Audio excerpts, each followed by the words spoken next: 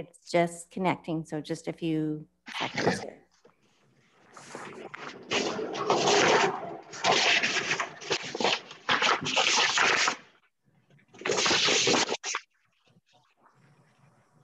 Okay, you're live.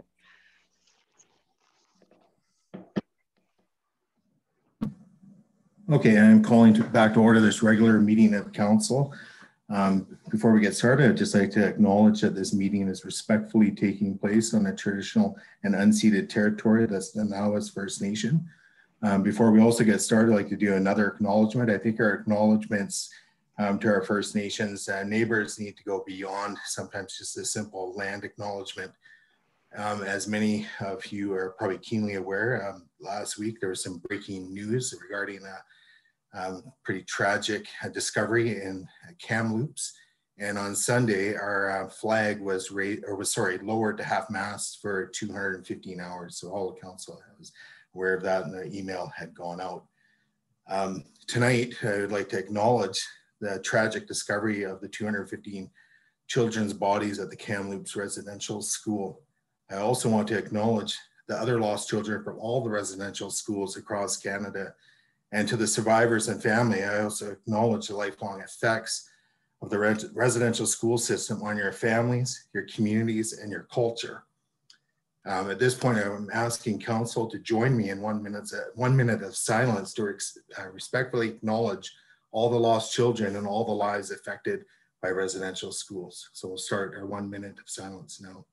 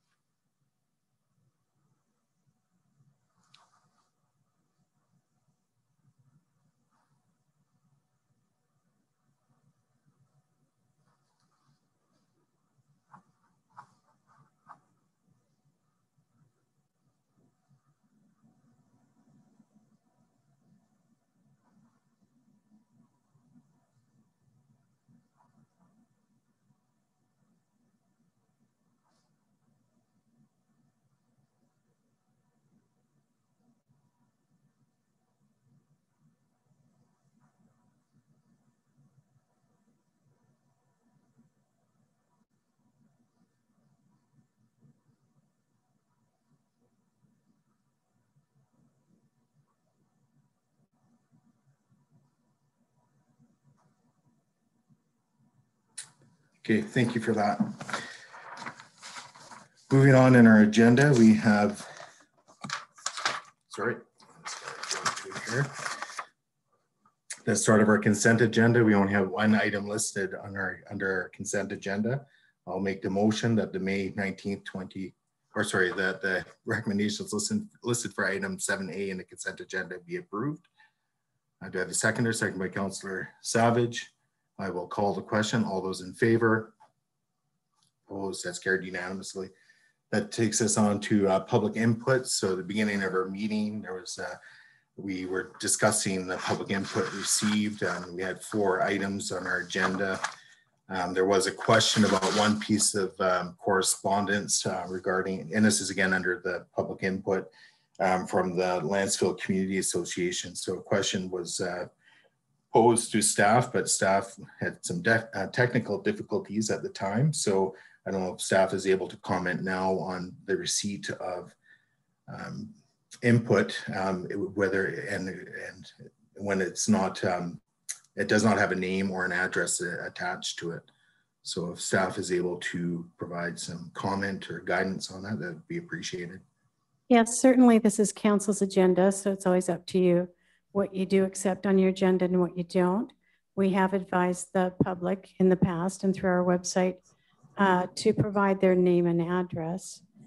Uh, it's best practice that with, uh, or my experience with other municipalities where I've worked, well, many of which have resident associations, is that correspondence coming from a resident association would be signed and uh, the name of the president or the secretary would be shown on the correspondence.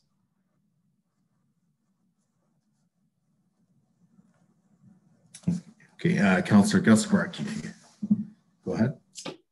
Yes, I'd like to move that council will not receive correspondence from any organization, including an association, unless the letter is signed by an individual stating his or her title, as well as a municipal address.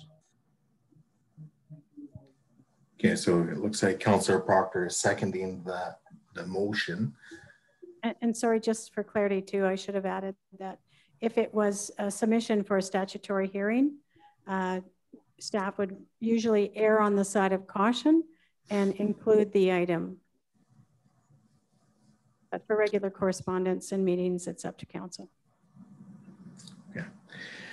So uh, again, we're kind of making a motion on the fly here, but we'll, if council wishes to proceed with that, we can. Uh, you know, maybe it'll be a good discussion, but we are basically just a public input on our agenda. So, um, well, uh, I mean, permit it, and I have no strong objections not to permit it, but uh, I think it'll lend itself to a good discussion, and I think we have plenty of time tonight. So go ahead, Councillor Geselbracht. Well, I, I, think it's a principle of uh, what's good for the goose is good for the gander. Um, you know, we're asked to make decisions and we're asked to uh, uh, to listen to the public. Uh, but I think, you know, the public or, or an organization, uh, out of courtesy, if nothing else, uh, let us know who's writing the letter. And if it's an organization, they must have a president or a director and uh, an address. Otherwise, uh, you get into the, you know, the Russian fake news or some, uh, you know, the, the Bert Lance uh, Memorial Society sends us letters. Well, who is that? You know, it's some fake organization or what? unfortunately, we know, well, so that's, um, I think that's the simple answer to this. So through to the seconder, Councillor Proctor, and then I'll start a speakers list. I, when I look at the letter, I see that it's well written and well intentioned, but it's anonymous. I, I don't know who wrote it and I don't know um, who sanctioned it. And I, I, I think that that's an important piece of information. If we start accepting anonymous letters on our council agenda, I think it's a pretty slippery slope. It's, uh, I think that anonymously people can say a lot of things, as we've seen on Facebook recently with all the fake profiles that people have saying whatever they think, hiding behind the anonymity. So I, I think that it would be um, very ill advised of us to accept letters without names on them. And uh, so I have Councillor Savage and then Councillor Wilson, and I've got something to say. So go ahead, Councillor Savage. Uh, yes, I can't support this for two reasons. First of all, I thought there was a protocol for introducing motions at council meetings. Uh, I believe that it's either a late item properly done with unanimous support or a notice of motion where a majority can decide to deal with it at the same time. So for that reason, we either have a policy for creating motions on council or we don't. And the reason for that, just out of interest, is for transparency. It's so that the public can follow what's upcoming on council meetings and have a chance to give input or to foreknowledge of what's upcoming. And if it's just willy-nilly motions all over the place during a council meeting, then the, the, you've lost that opportunity of transparency. That's the whole idea of an agenda, putting it out, allowing the public to see what you're doing. And then the second reason is that these on the spot uh, decisions are not something that suits me because I like and I think that we owe it to the public to have careful contemplation and, and research on items that are up for making policy upon. So uh, it's for those two reasons. And there's a piece of in our agenda later which I've already complained about, that's with no information basically about it. And this also happened last council meeting where we were given designs beforehand and so on. So that's bad enough, but to take it one step further and just to make a motion on the spot, which is now becoming policy, I think that should be done more properly during notice of motion or uh, a late item. So, uh, and I'm not ready to vote on it on the spot. I like to contemplate things more carefully. Thank you. Okay, so I did have uh, Councillor Wilson next, but I, if Councillor Wilson, if you would let me speak just to uh, the, you know, motion, just briefly, I'm not speaking to the content. It's more or less just how the motions come about.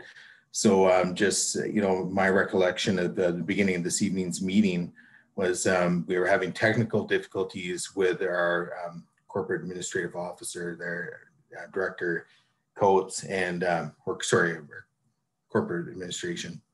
Anyways, um, and, and, so we couldn't really get the answers we were seeking at that point with respect to um, this correspondence at the time of adoption of our agenda. So um, just now as chair, um, again, I, I, did somewhat uh, make a ruling uh, with respect to allowing the motion. I'm not saying that was out of order and so forth. is just because of the unique circumstances of this evening's meeting.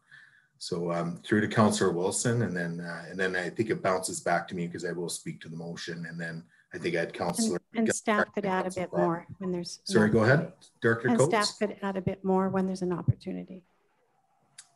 To add to what? Staff can go ahead, and then I'll just I'll go next. Well, just well, your next Councillor Wilson. I just want to know what staff is going to be commenting on before I permit um, staff to comment. I, I think the question was process for public input correspondence. So I was just going to reference the agenda and the procedure bylaw and the hybrid that we're currently doing. Okay, sure. That, that's go ahead, Director Coates. So the council procedure says public input period. Members of the public may provide comment only regarding items listed on the council agenda, ex excluding public hearing topics for that meeting, must first state their name and address for the record and may speak once for up to two minutes each. The presiding member may provide additional direction respecting public input. So it's definitely within the chair's uh, purview. Uh, I just wanted to clarify that due to COVID, we've adjusted this because we, of course, as you know, we cannot have public in the chambers. So on our website, and in fact, at the top of the agenda, it says members of the public who wish to provide input regarding agenda items must submit written comments by email to district at lantzville.ca, mail or drop off at Municipal Hall, and must be received by before 12 noon on Wednesday. And it's got the date of the meeting. Providing your name, address, agenda item number, name, and comment will become part of the public record, be shared with council, and posted to the website. The district does not accept anonymous submissions. This includes includes emails with an email address only. So please include your name and address. So that is what we have published. And but as I said at the beginning, this is council's agenda and it's up to you if you wish to accept things. And we have in the past, if this was a submission for a statutory hearing, uh, we would usually err on the side of caution and include it. But it's up to council. Sure. Uh, Councillor um, Wilson? At this point, I can't unread the letter because I've read it. And so it's impossible for me to not consider it.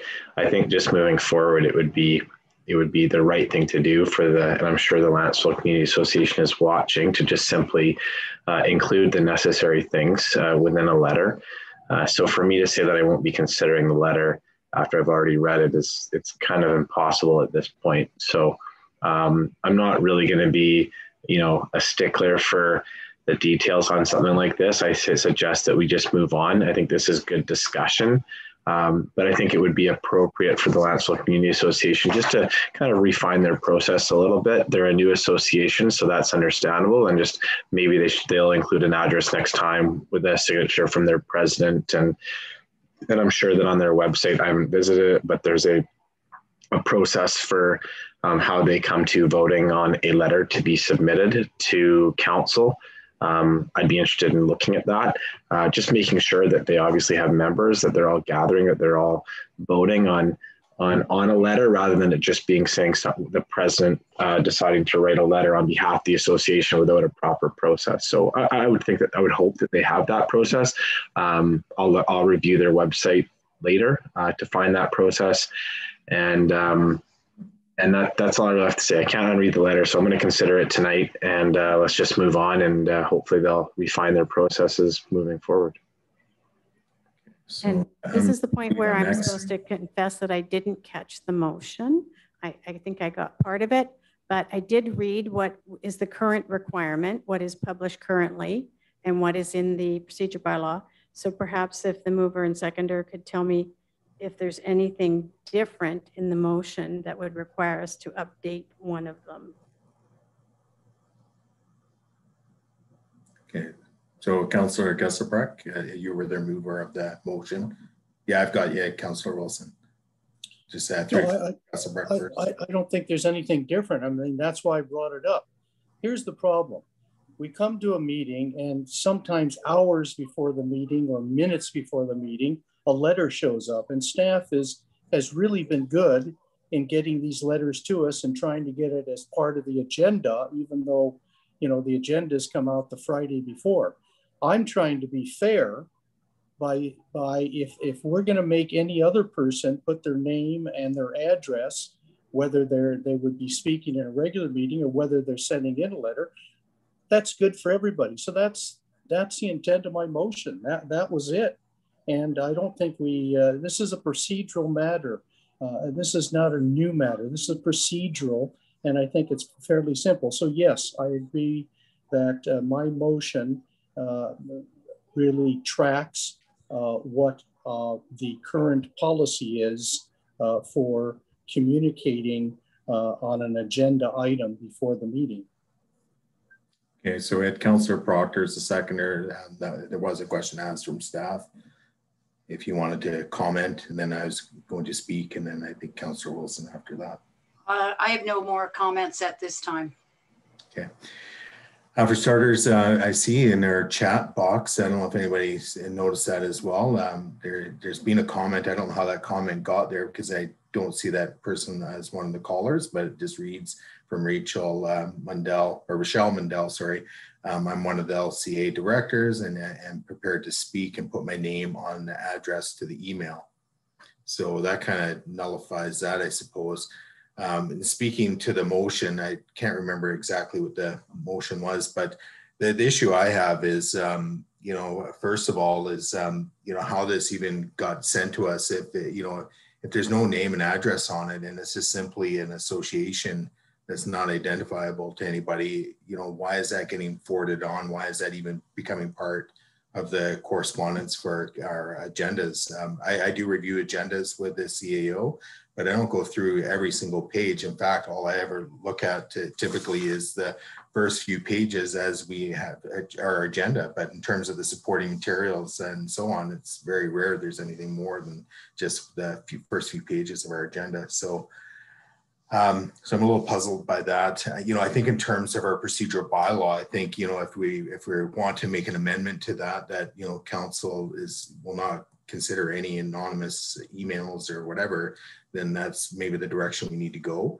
I think right now, um, and again, I might have to get the motion re- read here, uh, but I think what would probably make most sense is that we just direct staff not to forward on emails that do not have a name and address attached to them. I think that's the simplest solution to all of this is just, you know, correspondence doesn't get passed on to mayor and council unless there's a name and address to it. it needs to be verified.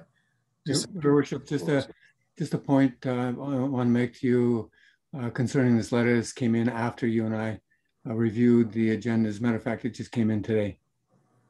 Yeah. So anyways, I I just, again, it's not um, anything to do with the association. It's just, again, I think with any correspondence, it needs to have a name and address. I don't disagree with that one bit. So how council wants to move forward, uh, you know, we do have a a person, a resident, and I believe this resident's spoken before on behalf of the Lantzville Community Association pre prior meetings. But you know, if someone was just to randomly pick up this evening's or the minutes from this evening's meeting, they're not going to know exactly who's um, you know part of this Lantzville Community Association and so on just by simply picking up our minutes. So it needs to be, you know, we need to have some mechanism in place and um, and maybe through to uh, Director Coates. Do can you are you able to read back the the motion? I don't know if you got it or not. Um, no, I, I am not. But I did want to clarify that these are interim procedures that we're doing while council, uh, public cannot attend the chambers. Once uh, the public is able to attend the chambers again, we will certainly be reverting back to people willing to stand up and speak unless council directs us to bring forward an amendment to the procedure bylaw. So the procedure currently allows people to submit up until 12 noon the day of the meeting. So that leaves us a very tight time frame to try to then uh, take the letters received by noon and put them up on the website and then email them out to council as a link. The minutes do not reflect who provides public input uh, because of the way in which we're receiving it, but the submissions go onto our website and are available for the public to see. So I could totally understand that for the public, it would be confusing when they're looking at this letter and it just has the name of an association, but there's no uh, reference, address, or name. So we can. And thank you for council correcting me. I, yeah, I meant, you know, in terms of the letter, it would be, it would form part of the record as being part of an agenda. Won't, wouldn't be on a, and accounted for in the minutes. So I believe I have Counselor Wilson and then, um, and then, well, I think would be more appropriate, we already have the mechanisms in place for whether we, we don't need to have a motion to whether to, on what needs to be in place. It's already there. I think the motion should be, are we just, are we going to accept this letter tonight or not? Um, like I said, it's already, it's already been sent as a late item. I've already read, I don't, I'm totally fine with it being on the agenda. Um, I don't care, but I think moving forward, I think that, uh, I think the, the, the processes of the Lantzville Community Association will more than likely be refined. And um, let's just move on. We're beating a dead horse here. all right, so I did have Councillor Geselbracht and then, I don't, I can't remember if Counselor Proctor. Yeah, uh, accordingly, and I I agree with Councillor Wilson, uh, I'm going to withdraw my motion.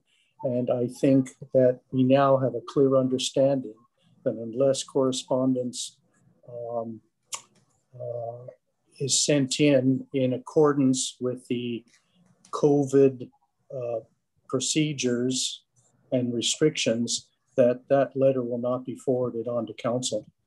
So I'm withdrawing my motion. Okay, so just uh, recognizing Councillor Savage, uh, is there anything you'd like to state? And then by unanimous uh, vote of council, we can just withdraw the motion.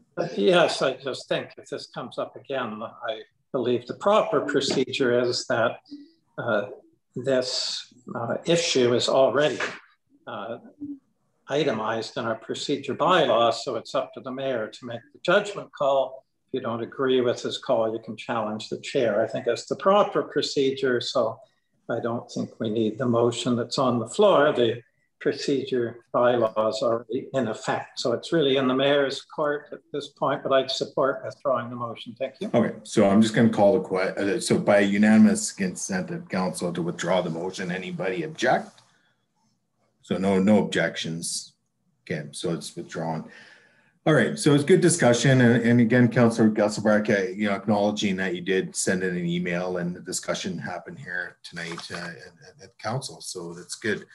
Um, Mr. Mayor, just for clarity, we are on item eight, public input period, but no one has registered to speak during public input.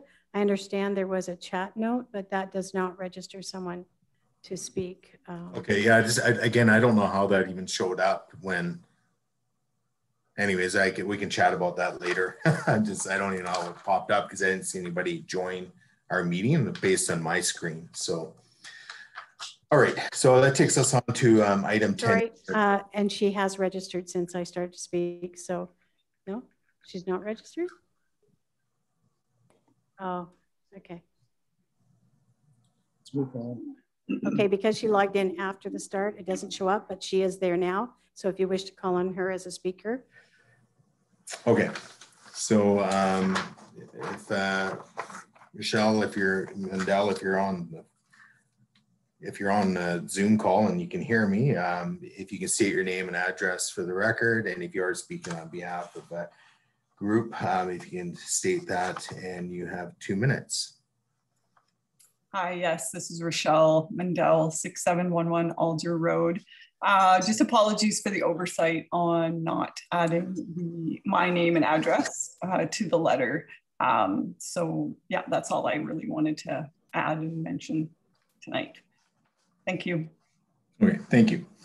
All right, so, and there's no other registered speakers through to um, Director Coates? no, there are not. Okay, thank you. Moving on to item ten A of our agenda, so we have the official uh, community plan amendment that we have a motion on the floor from, oh, that was referred from Fe- February uh, seventeenth. And uh, so anyways, we don't need a mover or seconder. I'll just read the motion. uh, I thought- I'm sorry, I, I, just a point of, of information, I guess I thought we moved item thirteen A to right under Oh. item. Yes, you're correct. Okay. Yeah. Thank you. Thank you, Counselor Proctor. That's correct. We did move thirteen A. So um, we do have a late item that was introduced. So first, we just need to vote on accepting the late item. So I will, um, and I, oh man, just give me a sec here, folks. I just have to bring up the motion. Where is it now?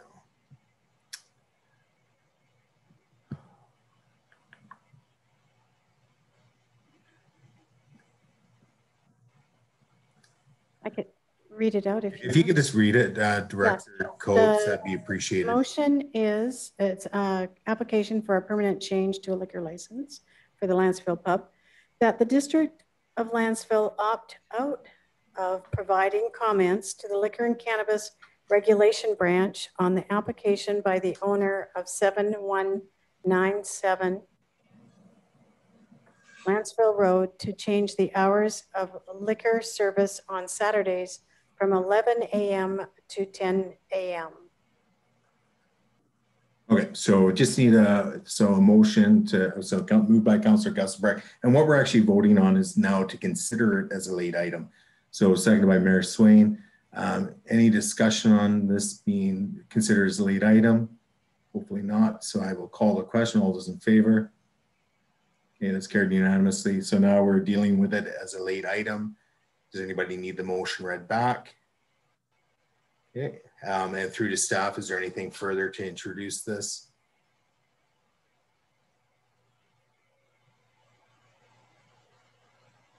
Hearing nothing, uh, I'll move to council for discussion. So, or sorry, Dan, mover and seconder. So now, yeah, no, I think we're good.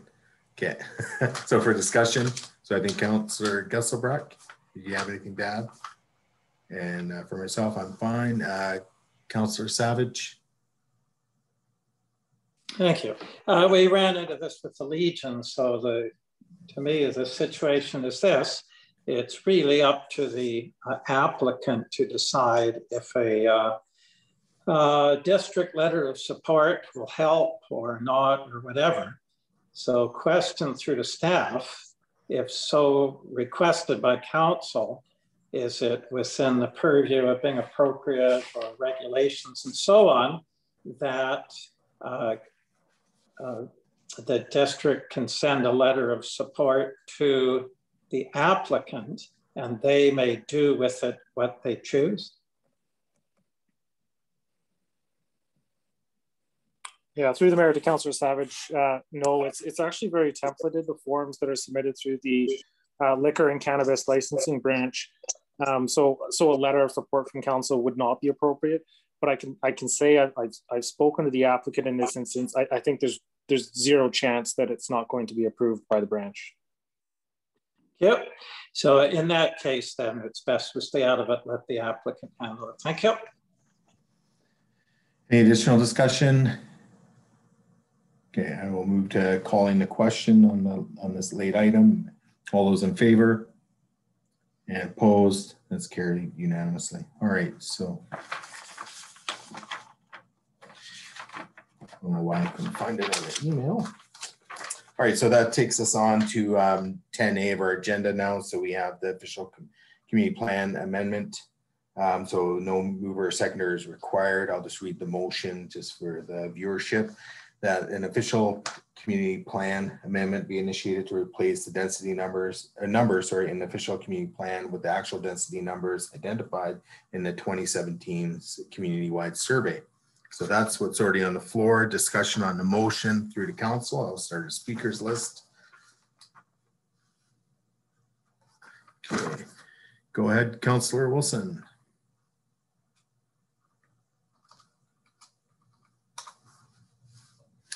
And Councillor Wilson, you are muted. Given that this is our third year into this and um, we have one year left in our term, I, I want to just kind of state that I, I don't have, uh, for the record, the the will, if you will, right now to support this. But I think it's uh, it's important that that the topic be brought up for discussion purposes. Um, I've read through um, the letter, and yes, unanimously um, agreed upon by council. But I think that we need to remember that there was a survey that went out that was per household. Um, that's a lot different than, say, a petition that goes out and three re- three residents sign at one home, and this happened. This has happened in our community. So this was, I think that we need to show, we need to recognize that and show respect to the survey that went out that was per household and um, that's the only reason why I brought this up as per discussion. And I'm not sure as far as the there was a I don't I'm not knowledgeable of another like another community-wide survey. I know that there was a process after the first one, um, but it was only with this with a sort of hand-picked, if you will, set of residents um, in that next step in finalizing um, the uh, the so-called numbers that went into the OCP. And I think we also need to understand what an OCP is. It's a guiding document. It's not a rigid document. It's not a zoning document. It's a guiding document for the community. And if something comes forth our way uh, that's great for Lantzville, I think we need to look at that. So, anyways, I just uh, I wanted to show respect to um, those that that got the certain the households, the 570 something households, or I'll say 550 in the 500s, those households that got that survey in uh, to the community, and recognizing that that was not residents, that was households, and that's what I'll leave it at. But like I said, I won't be supporting this for the simple reason that the amount of work that I know staff is burdened with right now, um, I just think that we have more important things to, to go on to worry about. So that's all. Okay, so I have Councillor next. Thank you. Um, I, I don't want to entertain this motion at this time, but I'm really glad that it's on the agenda because it gives me one more opportunity to outline how important I think that the data from the community-wide survey was. It's the only um, statistically valid data that we have that we had during the OCP process. And it was the culminating activity of the OCP process. There were a few very small gatherings asking people for feedback after the um, the OCP uh, survey, household survey went out. And there's been so much misinformation uh, put out into the community about the density numbers and the correct density numbers that it's actually appalling. The correct density numbers are the ones that are from the, the community-wide survey. That is what the community agreed in.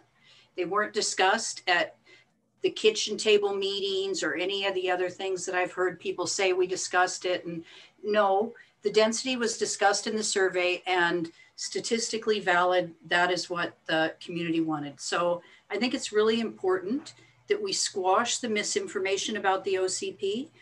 The OCP is a working document that was created with lots of really good input and uh, it unbeknownst to me why the numbers changed after the survey. I've spoken to people on the OCP committee and they're all a little befuddled about it too.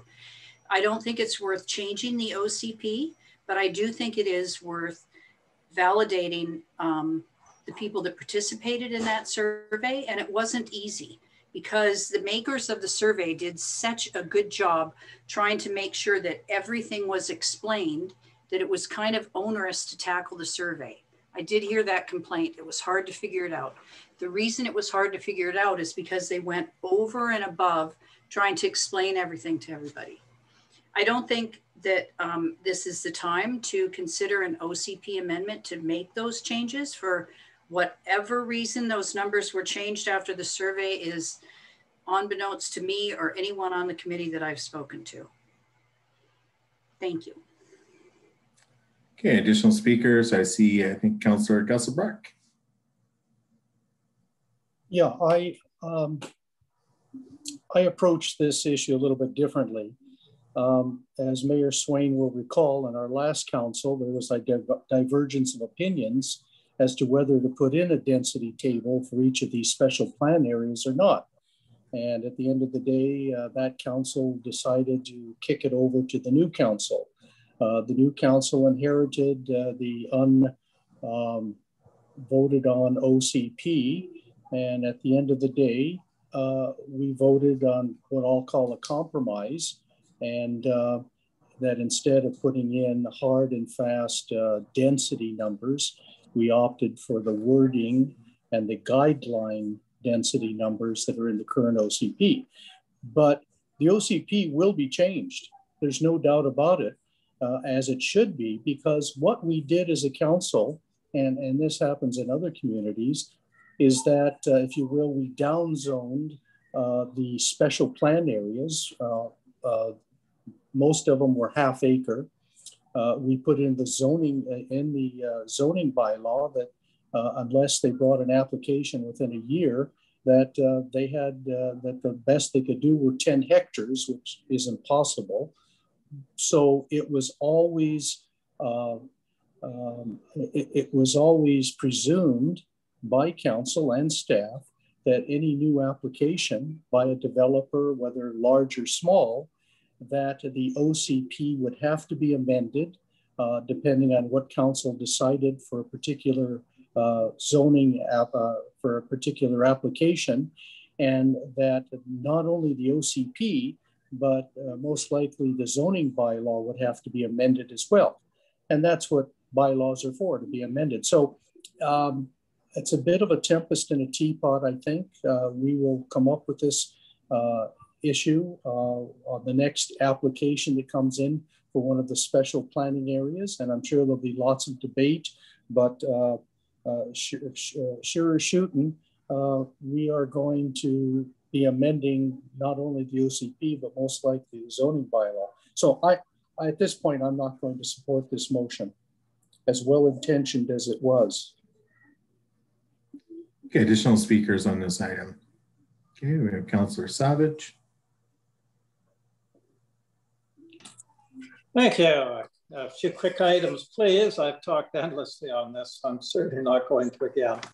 Uh, first thing is anyone who asked for an extra survey got it. That was a complaint during the process that uh, only one was sent per household. So anyone else that wanted one was given it. So in a number of cases, they, there were more than one person in the household that filled them out. And the uh, consultant was the person who wrote these numbers, no one else. We had no input whatsoever on what the numbers were going to be. We found out when the survey was done what he decided the density numbers were be. So they weren't grassroots numbers at all. The acreage was wrong in Upper Lantzville, so the total units were inaccurate compared to the 3.6 units per acre. And I think people would have been quite happy that worked out to 109, 91 units for Clark Med. I think people would have settled for that just fine. Those with the survey numbers. Uh, so I also think the submissions on the last three zonings are also valid. They're actual input on actual rezoning applications. They're far more valid than the theoretical, theoretical concept of this magazine style survey that went out that was just chock full of information and pictures and so on. I would take the input on an exact rezoning application on a special plan area far more, it's far more valid than just a, you know, a, a rough indication of supporting a I, point of information. Survey. Point Yeah, of Just two seconds, uh, Councillor Savage. A point of information is being requested. So Councillor Proctor? Um, I'm wondering if you have a reference in qualitative and quantitative research methodology to back up your us your assertion. Okay, so Councillor Proctor, if you want to debate uh, later uh, after Councillor Savage has finished speaking, that's fine. I Well, I think- think he should state that it's his opinion. Well, you can, I, I think when he's, any member of council speaks, we're basically expressing our opinions on the various issues that are before us. Okay, I accept that. That's Counselor Savage's opinion about qualitative and quantitative research. analysis. So Councillor Savage, you may continue. Yes, I also have a point of order, please. And if you want to state your point of order, Councillor Savage. Yes, I really like this to stop. Uh, every councillor has a right to speak without being interrupted. And if it's a procedural matter or something important, fine. If it was just to argue with the councillor, it's completely inappropriate. So I'd really like this to end, please. I've got every right to express my opinion as much as anyone else does. So thank you. Okay, So- Councillor Savage, your point order is noted. I, again, like what I'm going to reiterate is when any member of council speak, including myself, we're ultimately expressing our opinions on each item.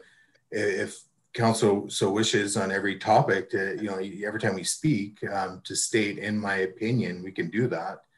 I just think it's implied that when we do speak to the various matters and issues and when we debate them, we're ultimately expressing our opinion and ultimately expressing our opinion based on what we think is uh, representing the view of residents. So anyways, that's uh, not really an item to rule on per se, but uh, again, I, if, if there, I guess for point of information, if something is of concern, like in terms of incorrect information or what have you, um, misquoted number, what um, I think that would probably be the appropriate time to bring that up. So, Yep. So ahead, Councillor Savage. Yeah, so uh, at any rate, during the OCP process, uh, people were not prepared to give a blank check to the special plan areas. Just, oh, that's nice, you just do whatever you want. They wanted to know how much stuff, how much density was being planned in exchange for parkland and so on. And that's how these numbers came about. And it's extremely common in OCPs to have density numbers. Nanaimo has them. They're all over the BC. So Departure Bay has them, units per acre, and so on. So, uh, so that's that's that. And in terms of what we passed, flexibility was one thing. I'm all for flexibility, but just throwing out the numbers was not the intention at all. It was just to allow some flexibility in case something really spectacular came up. That was the idea. But the numbers are there. And I think the really important thing here is to remember is the legality of what's in the OCP in terms of density numbers is completely irrelevant. These numbers mean something to residents. That's the key point. And in every special plan area, we rezone that area and we have an OCP amendment. That's exactly the process for every single special plan area. So we can legally amend the OCP to anything we want during a special plan area process. So the legality of these numbers is not the question. It never has been. What it means, it's a, it's a rock solid indication of what residents agreed upon in the community plan. It gives them a seat at the table.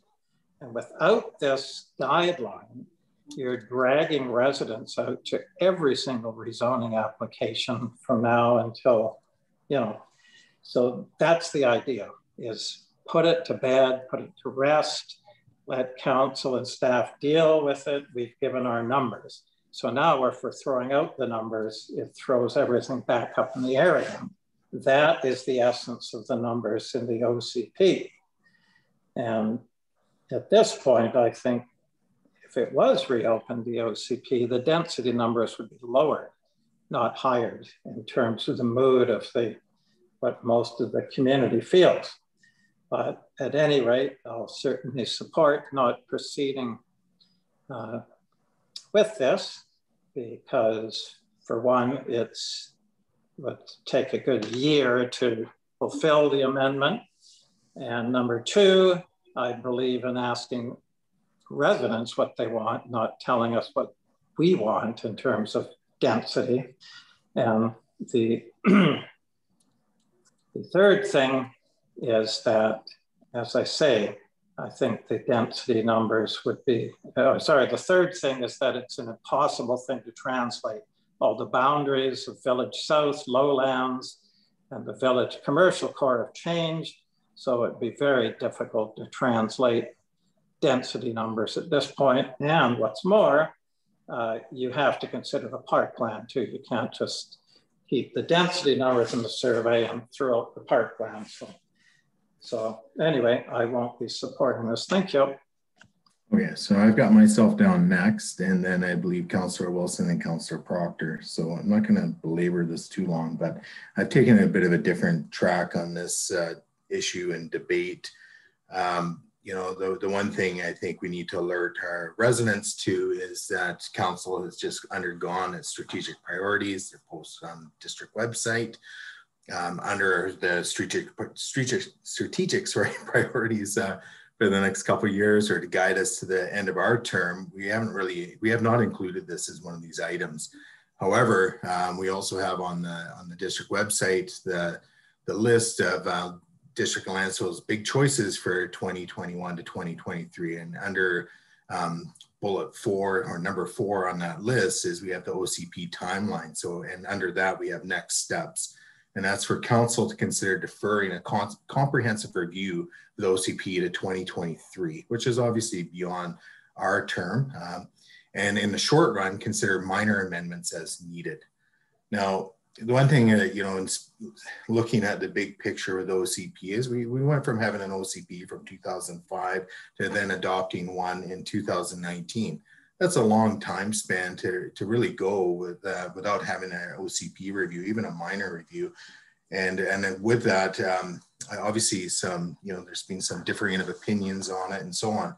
But like anything, you have to give it a test drive for a few years. And when you really do the math, uh, you know, from 2019 to 23, 2023, that's only a four year test drive.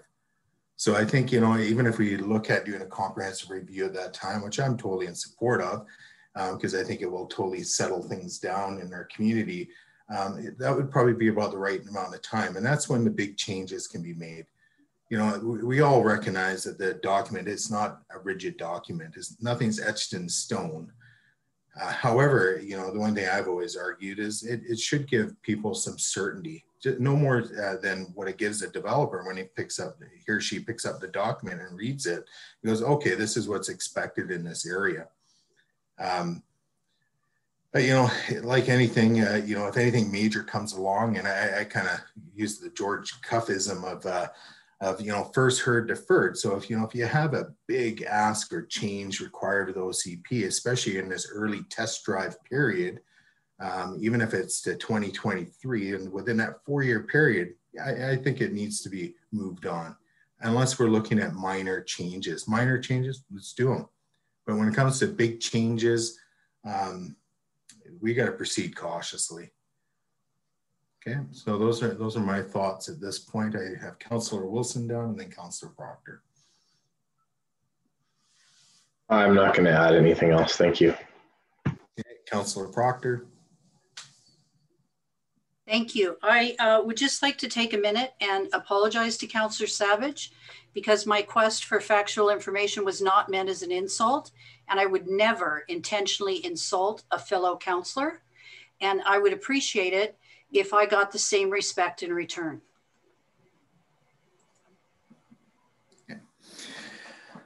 All right, so with respect to this item, 10B, any additional debate? I think this one has been talked about, or sorry, 10A, we've probably talked about it long enough in the past and in the present as well. So unless there's new information, I will call the question. Okay, hearing none, I will move to call in question. All those in favor and opposed, noting that Councillor Savage is opposed, Councillor Geselbracht, Councillor Wilson, and Councillor Proctor and Mayor Swain unanimously opposed.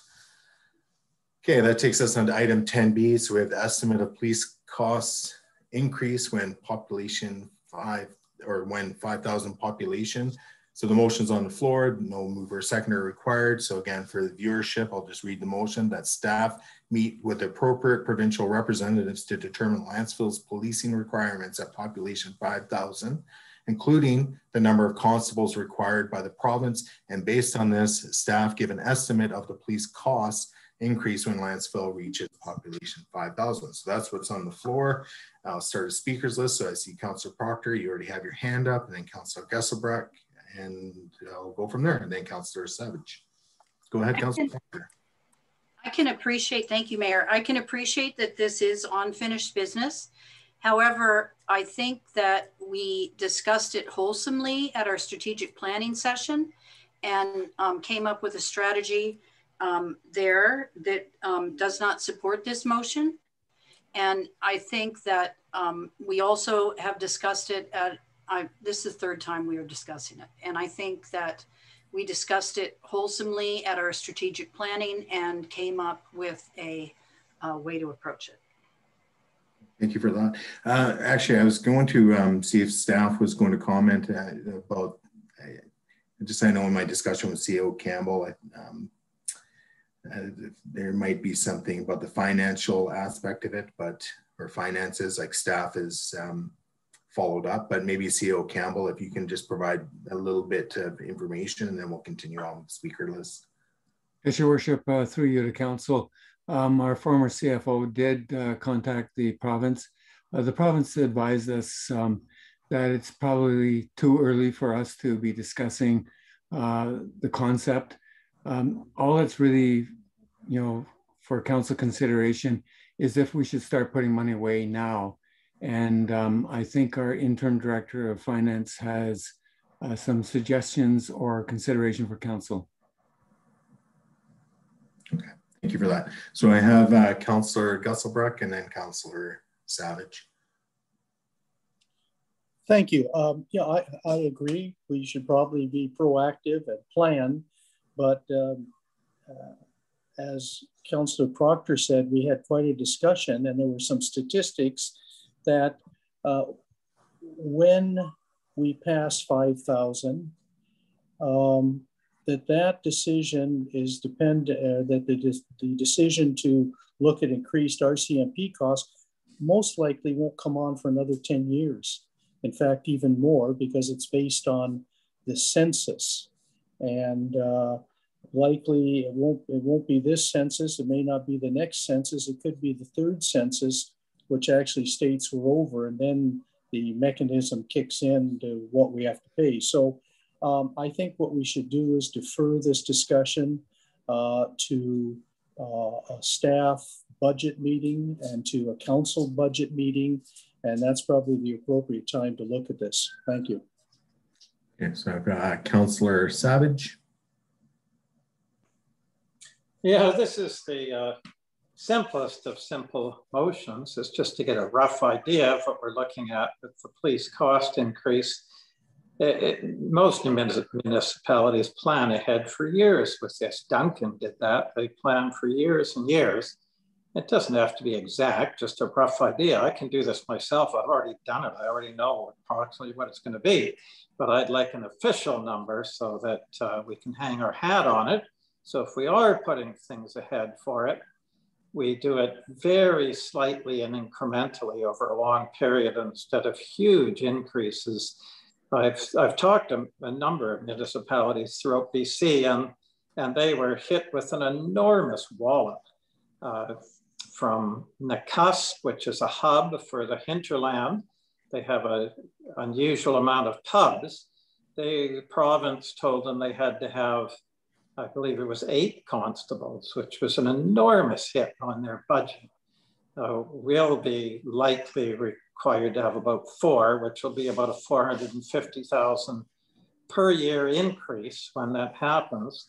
But it just makes sense if you're just wanting to know the cost of a new fire truck. So you can start putting a, away money 10 years in advance. I don't see how this is the least bit unusual. And in terms of phoning the province, all you have to know is say, look at what what's the likely amount of constables you request for our area? And it'll very likely be four, but that's all we need to know, how many constables. And all you have to do is compare to Qualicum, a chosen, other areas on the island similar to ours. The chief financial officer of Qualicum said it for their area, and he's heard elsewhere, it works out to about 175,000 per constable. That's all in for facilities, support staff, and so on.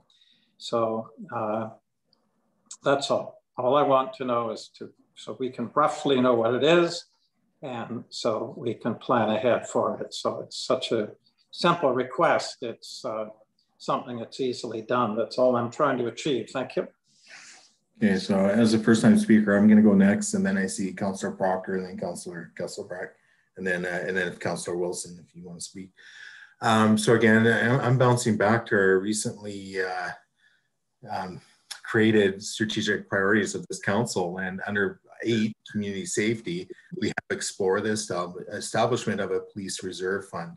So I'm assuming as staff works through this uh, list of strategic priorities for this council prior to the end of our term, um, information will come back to us because we need to have some goalposts on, on what the likely financial increase or burden is going to be when we hit 5,000 or population 5,000. Then if we, mouse, if I go to the next thing, which is District of Lantzville big choices, again on our district website, and then you go down to, um, where is it there? Oh, yeah, under five, police reserve fund. And again, it says next steps remain to be considered by remains to be considered by council and the near term staff could bring forward an analysis of the needs and costs of establishing a police reserve fund. So I think through the council, we know we need to start putting money away, right? We need to put it in a little piggy bank for the police, policing for, the future of, uh, sorry, no pun intended there. I saw Councillor, uh, Councillor Brack, yeah, that's, that's a bad pun. Anyways, um, so we have to put money away. There's there's no doubt about it. We know policing is going to be more expensive as we move forward. It, it's a given. So I, am willing to be patient and seeing what staff comes back. They know this is important. We we need to consider this in our budget or budgeting process for um, in the fall, and, and I'm certain that's going to happen. So um, staff is listening. Staff will, I'm sure, will be racking. But in terms of the motion as laid out, I, I won't be supporting it. Um, I'll be voting it down. Um, anyways, that's all I got to say. So we, we got our strategic priorities. So I have Councillor Proctor, Councillor Geselbracht. Thank you. Just through you, Mayor, to staff, I'm wondering what the interim director of finance's suggestions were. CAO Campbell mentioned that she had some. I'm not sure. If I may, through you, Mayor? Yes, yeah, go for it. Do you wish? So I'll just give a slight summary of what I have in front of me for you. The staff has been in contact with the Police Services Division in regards to trying to obtain some um, confident costing and as to how many constables may be required when Lantzville reaches the 5,000 level. However, um, at this time, they are not in a position to provide number of constables that would be required for Lantzville, as there are quite a few factors that need to be examined. And they typically do not do those until a bit nearer to the time, because as you can imagine, a lot changes in costing over you know, a five-year period, like between this census and then the next census. They are willing to um, provide a presentation to council if interested um, on providing council with an overview of structure and funding of policing in BC, as well as a high level overview of the process of a potential emerging municipality and the work that they would do to assist that um, transfer. Currently, uh, the 2019 RCMP police statistics um, is published on their website, and two recently, uh, two recent municipalities, Armstrong and Peachland, they each have four uh, members, as Councillor Savage commented. And there are different costing because constables cost 70% to the municipality. However, the support staff and accommodation is 100% cost to the municipality. So costs do vary. For example, in 2019, Armstrong, their four constables cost them $526,000 for the year. And in Peachland, their four constables cost them 698,000 per year. So there's a variance of what it could cost, and that would all depend on discussions between council and the police services as to the type of service council is looking for. Um, so for example, if we use those estimates and said it's possible, it would cost Lantzville between 600 to $800,000 a year to provide policing um, on the high side, but it's musing 600 to 800. That would be a 25% to 33% tax increase to the taxpayer because currently a 1% tax increase, as I'm sure you're aware, is just over $24,000. So that's, you know, 25 to 33% increase. So the average home in Lantzville pays $1,643 in general municipal taxes. So if we added the police tax to that, the police, the cost of policing to that, the average taxes would increase between up to $2,000 to almost $2,200. So a four to $500 increase per average home.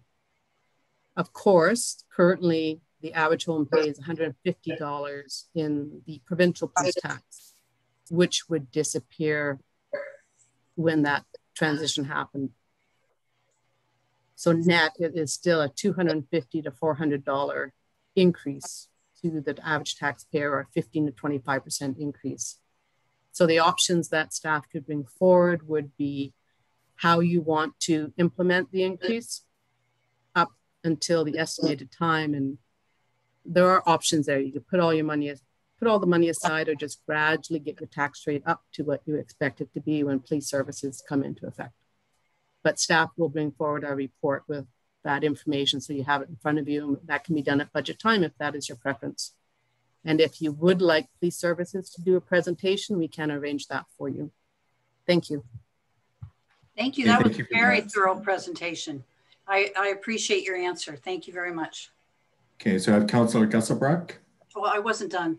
Oh, sorry, go ahead, Councillor yeah. Brock. I, I think that we should um, ask staff to bring this forward to us at budget time because I think that we, we probably will want to look at increasing taxes incrementally, but uh, not for 15 years.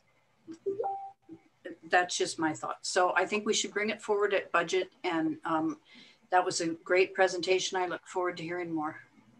Your worship, uh, just a, a comment. Um, uh, Kathy did, or Kathleen did mention that um, the province is willing to come in and uh, do a presentation to council uh, should you desire. Yes. Okay, thank you, CAO Campbell. And I have Councillor Geselbracht next, and then I don't know who else is after that. Well, if I heard Councillor Savage correct that McCusp has not eight bars or eight pubs, I think, you know, we're off good. I think we can get away with uh, one constable sitting in a chair with a cup of coffee and a ham sandwich across from the pub, from the Lantzville pub, and we'll get off easy. So uh, I, I, I won't be supporting this motion, but I certainly look forward to dealing with the issue at budget time. Okay, Councillor Savage.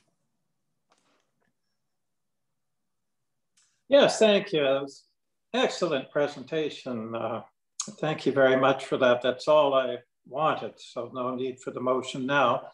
So very rough estimate between six and 800,000. That's exactly the amounts that I concluded as well. So that's good enough. That's rough enough for us. That's all I wanted. And I would urge council to seriously consider starting to put money away now.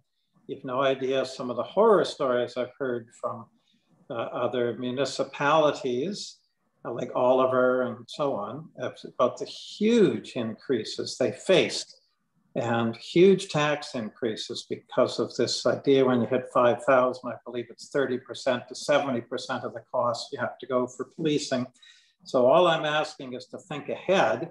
And if we slightly increase the tax burden each year for many years, that's far more palatable than, uh, you know, you ramp up incrementally and very slowly. That's far better than a sudden jarring leaping upwards that's hard on everyone. That's my only point. So I think that's all I needed to know. So no need for the motion anymore. Thank you. And I'm gonna... also very interested in that presentation at some point in the future by the uh, provincial government policing. Thank you. Sure. I was just going to speak, speak briefly for a second time. Yeah. So with respect to the presentation, we'll just make that happen. It sounds like council is very interested. So I'll be sure to follow up CAO Campbell and just make sure that's happening probably closer to our budget time as that would make most sense. Um, just in terms of general interest, and this is in a newspaper article from back in 2016. And the source, um, you know, they there are sources that below it, but if anybody's interested, I could probably send the link out. But in it, it has police cost per capita. And what you'll find interesting here is that if you live in Nanaimo, it's uh, $268 per capita. That's the policing cost down the list in Lantzville, $58.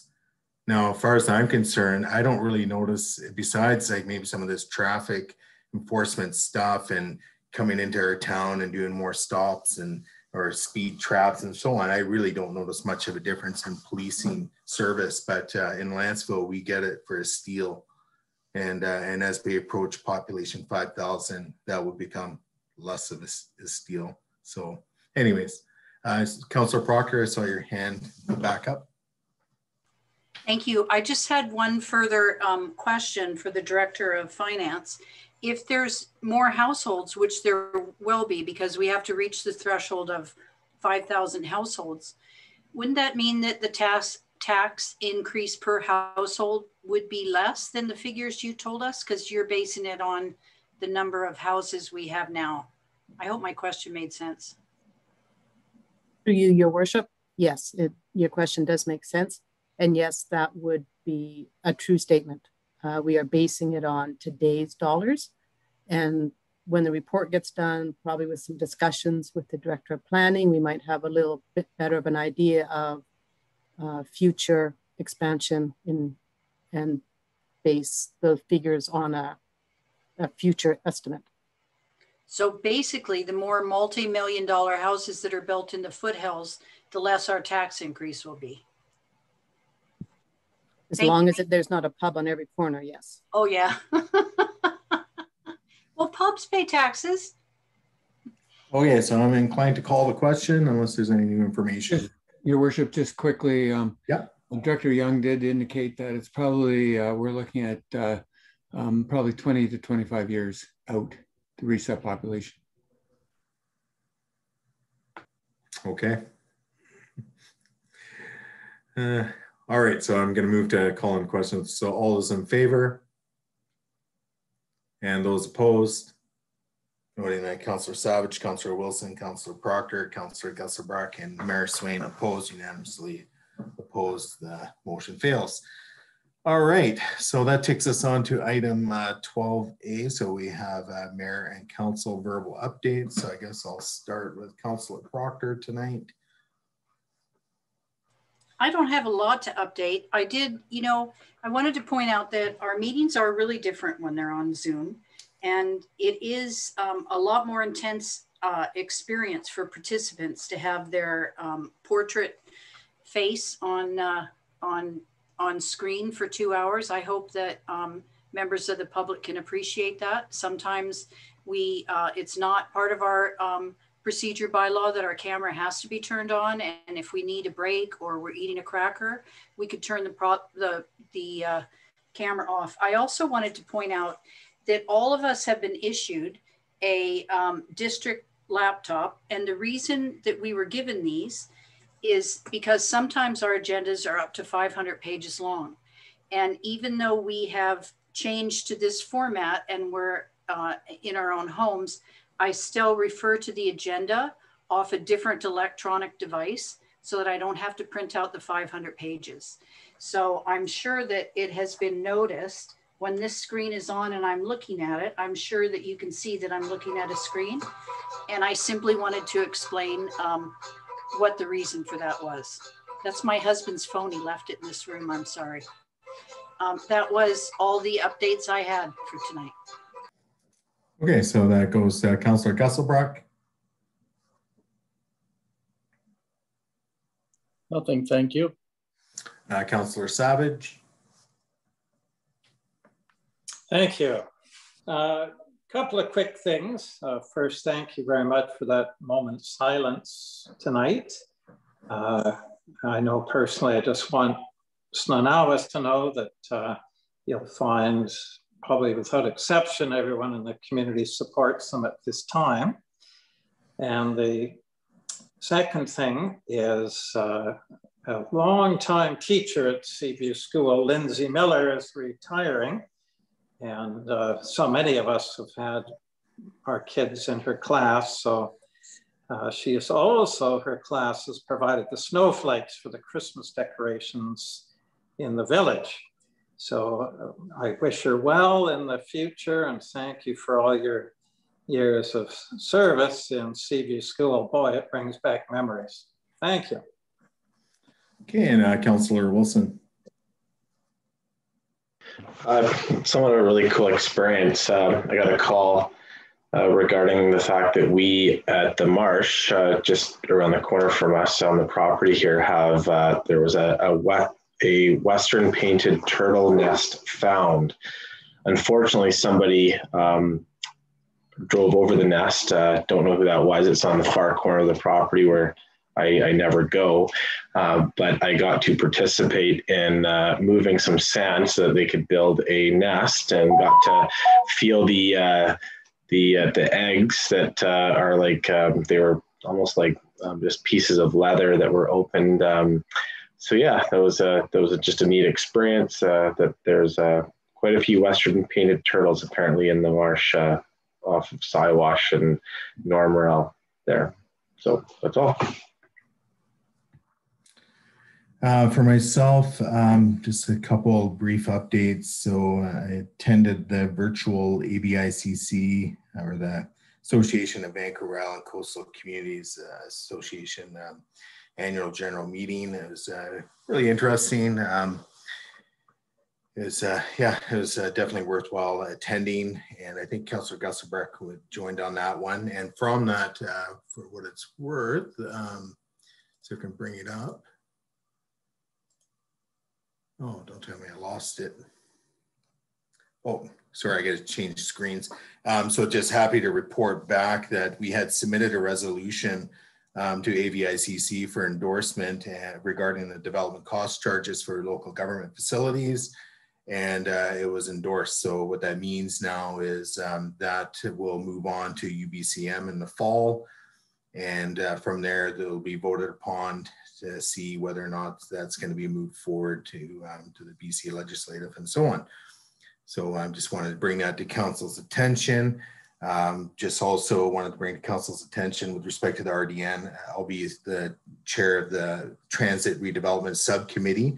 And uh, with that being said, I'm looking forward to bringing, um, making sure that the profile with respect to transit within Lantzville is uh, definitely um, raised, uh, and uh, we've already submitted a couple motions through to the RDN, as you're well aware, uh, with respect to transit rerouting and requesting hours and so on. And uh, so I hope that um, we'll um, keep our community engaged during this whole process. And as uh, new developments occurring here, we've got the Clark Medd property going in. Uh, there's 250 houses going in there. That's going to definitely cause uh, probably a rise in um, ridership. But the one thing we have to appreciate with transit is it's something you just can't flick a switch on and increase your your busing overnight or or add routes and so on. It's a it's a bit of a process, and and unless you have the um, unless you can really demonstrate the desire to for the ridership um, to have increased routing and and frequency and so on, it makes it really difficult. The other thing we have to you always have to take into consideration is that there's competition for the hours that get allocated uh, through um, BC Transit every year to the different transit authorities. So um, with the RDN being one of them, and it's not always um, a guarantee that you know whatever hours get allocated to the RDN are going to flow through to your municipality. So unless you can demonstrate you have a strong desire in your community or area to have increased ridership or um, or routing and what have you, um, it probably won't happen. And there's a lot of competition for these hours uh, that, that, get allocated uh, to the RDN every year. And, uh, you know, and again, uh, what we have to do is just really raise the profile on transit within Lantzville, especially as our community grows and we plan for that growth to actually have, um, have the busing infrastructure in place and so on. And, uh, and I was pleased to um, see that the, the um, transit uh, bus stops were installed um, down um, on the highway uh, below the overpass. So uh, BC Transit has installed those and uh, and looks really good. So I was happy to see those go in. Um, and that was had nothing really to do with uh, us uh, or transit or sorry the RDN and the select committee. That was more to do with us than I was working directly with the ministry of uh, transportation. So they managed to um, successfully get those in place. So other than that, um, I, that's that. Oh, and I, and I did attend the vigil on on Sunday. I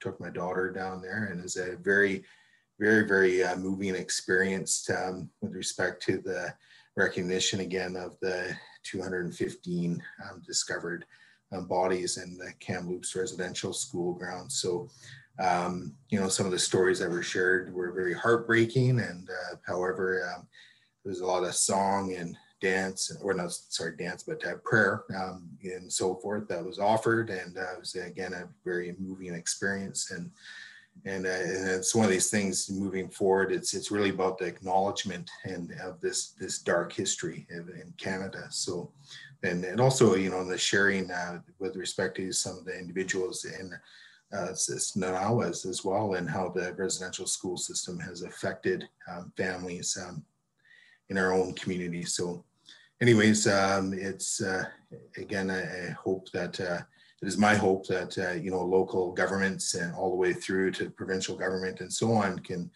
can do something about uh, this moving forward. So anyways, um, that's my update for this evening. Uh, moving on our in our agenda. So we have um, under 12B, we have the development permit application for 6953 Dickinson Road. I'll just simply make the motion that the development permit number DP 21-17 be issued to property owner to the property owner for 6953 Dickinson Road. Do I have a seconder to that? Seconded by Councillor Proctor. Um, discussion on this um, through, uh, I'm, for myself, I'm fine. I'll just move it on through to direct, or sorry, uh, Councillor Proctor. Uh, any comment and through the rest of the council, sort of speakers list. So we have Councillor Savage. Okay, go ahead, Councillor Savage. Yes, thank you. Uh, and with no disrespect to the property owner, they did their job. They maximized the efficiency of the land and so on. So that was job well done. Uh, my role is different. It's to uh, represent residents and I'll be opposing this. And we were invited, if there's one bylaw we know of, we feel that's been broken, and I do, and it's what I've said from the start, and the bylaw is the official Community Plan bylaw.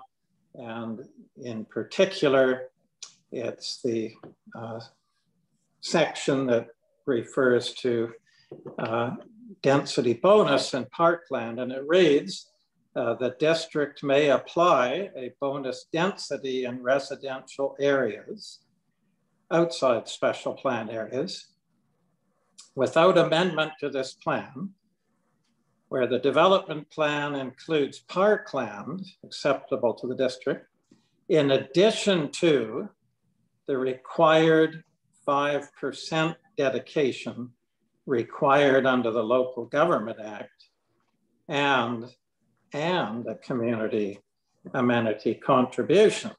So with this particular lot, uh, it was uh, zoned previously in the previous zoning So, bylaw. Councillor Savage, sorry, I'm going to interrupt you. I, I need you to speak directly to the motion, and the motion has to do specifically with the DP application for, and I'll read it. It is for the potential or DPA six potential historic underground mines, and DPA eight, which is a village form and character. We're not here to rehash the the rezoning process or the OCP amendment? Yeah, with respect, the staff report says that staff can only turn it down if they can refer to some bylaw which has been broken and it mentions bylaws in general. And I'm giving the one that I feel was contradicted. Okay, so if you can bring us to there quickly, that'd be appreciated. Yep, right in the staff report, and I'm telling you how it was contradicted.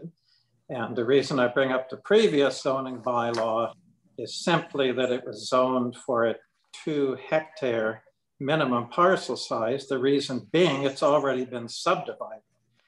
And my point is, keeping that into consideration, this was a 1200% increase in density. And if anything deserved this section of the OCP to be implemented, it's a 1200% increase in density. And for that, we got no parkland, and the cash in lieu was only for 5%. Yet the OCP says we certainly have the right to ask for more than 5%. So in that respect, I feel that it's, it's, uh, it's been broken. And the whole key to this section in the OCP, it's identical to these sentences you may release a prisoner where there is evidence of remorse, in addition to him getting a job and buying a home.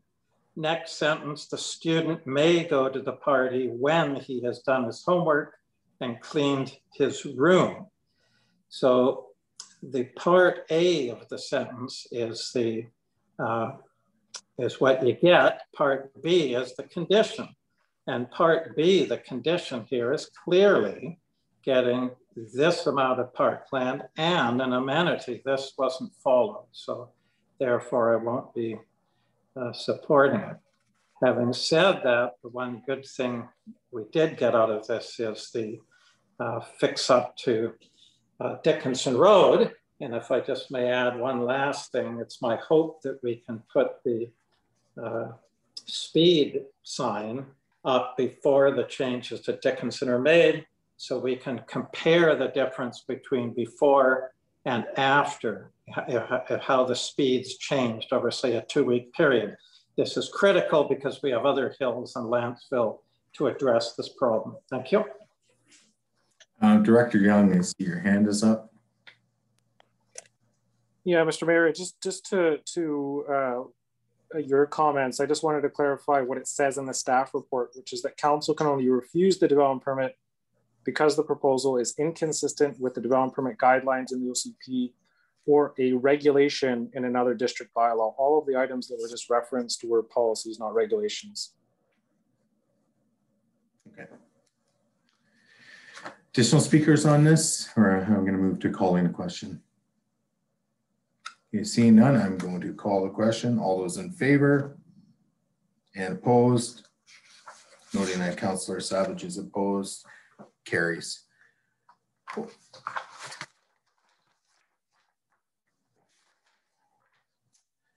All right, so that takes us on to item uh, twelve C. So we have the facility design request for expression of interest for public works and fire rescue. So staff is going to provide us with um, a verbal report through to staff. Your worship, um, uh, Ronald Campbell uh, to council. Uh, first of all, I'd like to just correct um, under the policing, it's uh, 15 to 20, not 25 or 20 to 25 popula- uh, years to get to that population. Okay. As far as this facility goes, it's a uh, it's a request for council, just to let council know that uh, we're going for an expression of interest to uh, design both the fire hall and the, the um, uh, public works yard facility on the five acres uh, that's being donated to the community uh, through the Clark Medd development. Um, so that's really what it's all about. It's, it's to get council support or approval to proceed with an expression of interest which will come back to council at the time uh, for inclusion in the, uh, the budget process. We've been advised, just so that uh, the mayor and council's aware, we've been advised that the fire hall site is compromised both um, uh, by our own uh, developments on the G property, and uh, we've been advised through a, um, a traffic study that our um, Nanoose First Nation did that the uh, current uh, fire hall site is going to be compromised in the future. You know, in addition to the uh, the provincial report of 2000, I think it was 2005, uh, indicating that that intersection will uh, on Superior Road will wipe out the fire hall site. Thank you for that. So through you, uh, CEO Campbell, what you're asking from council council this evening is a, is a motion to have this added to our financial plan for for next year. It's just to advise. You have muted. Sorry about that. Uh, it's just to advise council that we want to go for an RFQ uh, to get expression of interest to design uh, both the fire hall and the public works yard site, um, which will be located on the five acre you're now muted again. Not quite sure why that happened, but nonetheless, I've spoken with both um, the director of public works and the fire chief, and they both feel that site would be an excellent site for fire hall and public works. Also for council to be aware, uh, with the public works uh, yard site currently, they've outgrown the site. And secondly, we spend roughly $36,000 a year on that site to rent it. Okay. All right, so through to council, so I see Councillor Geselbracht and Councillor Savage. Go ahead. So we can um, debate this. I'd like to make the motion as follows. Council directs that staff proceed with requesting an expression of interest for a public works and fire rescue buildings, plural.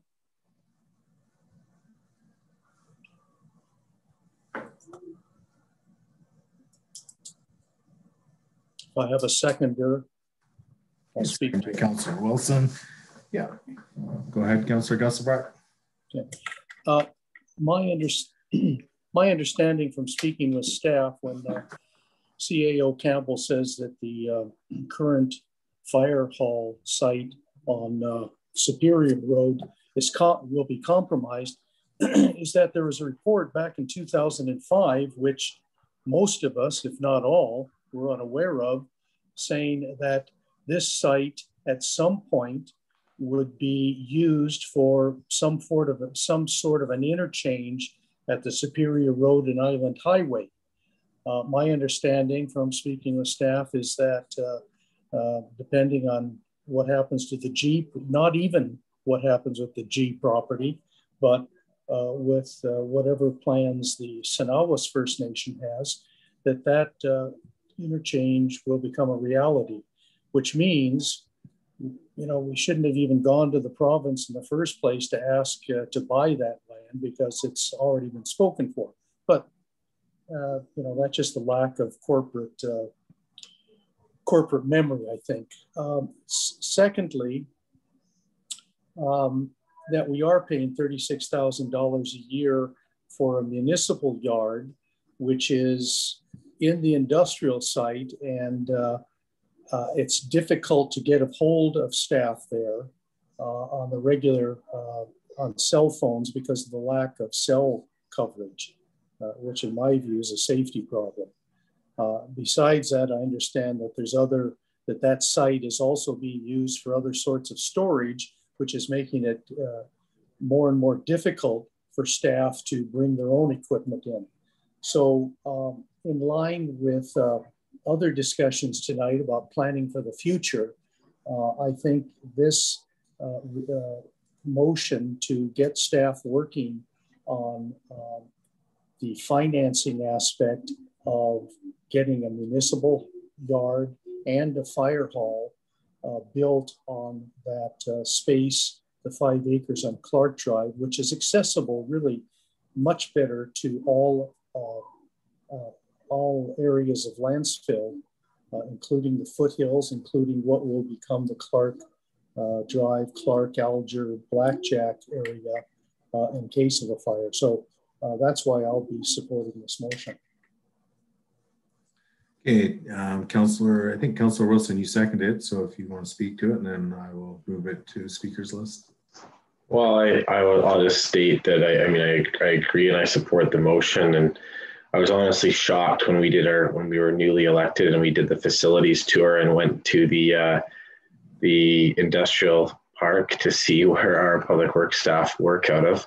Uh, not only when you say the cell phone issue, I would say more so the uh, the lack of railing walking up the stairs and in that building would contribute a lot more to the uh, lack of safety.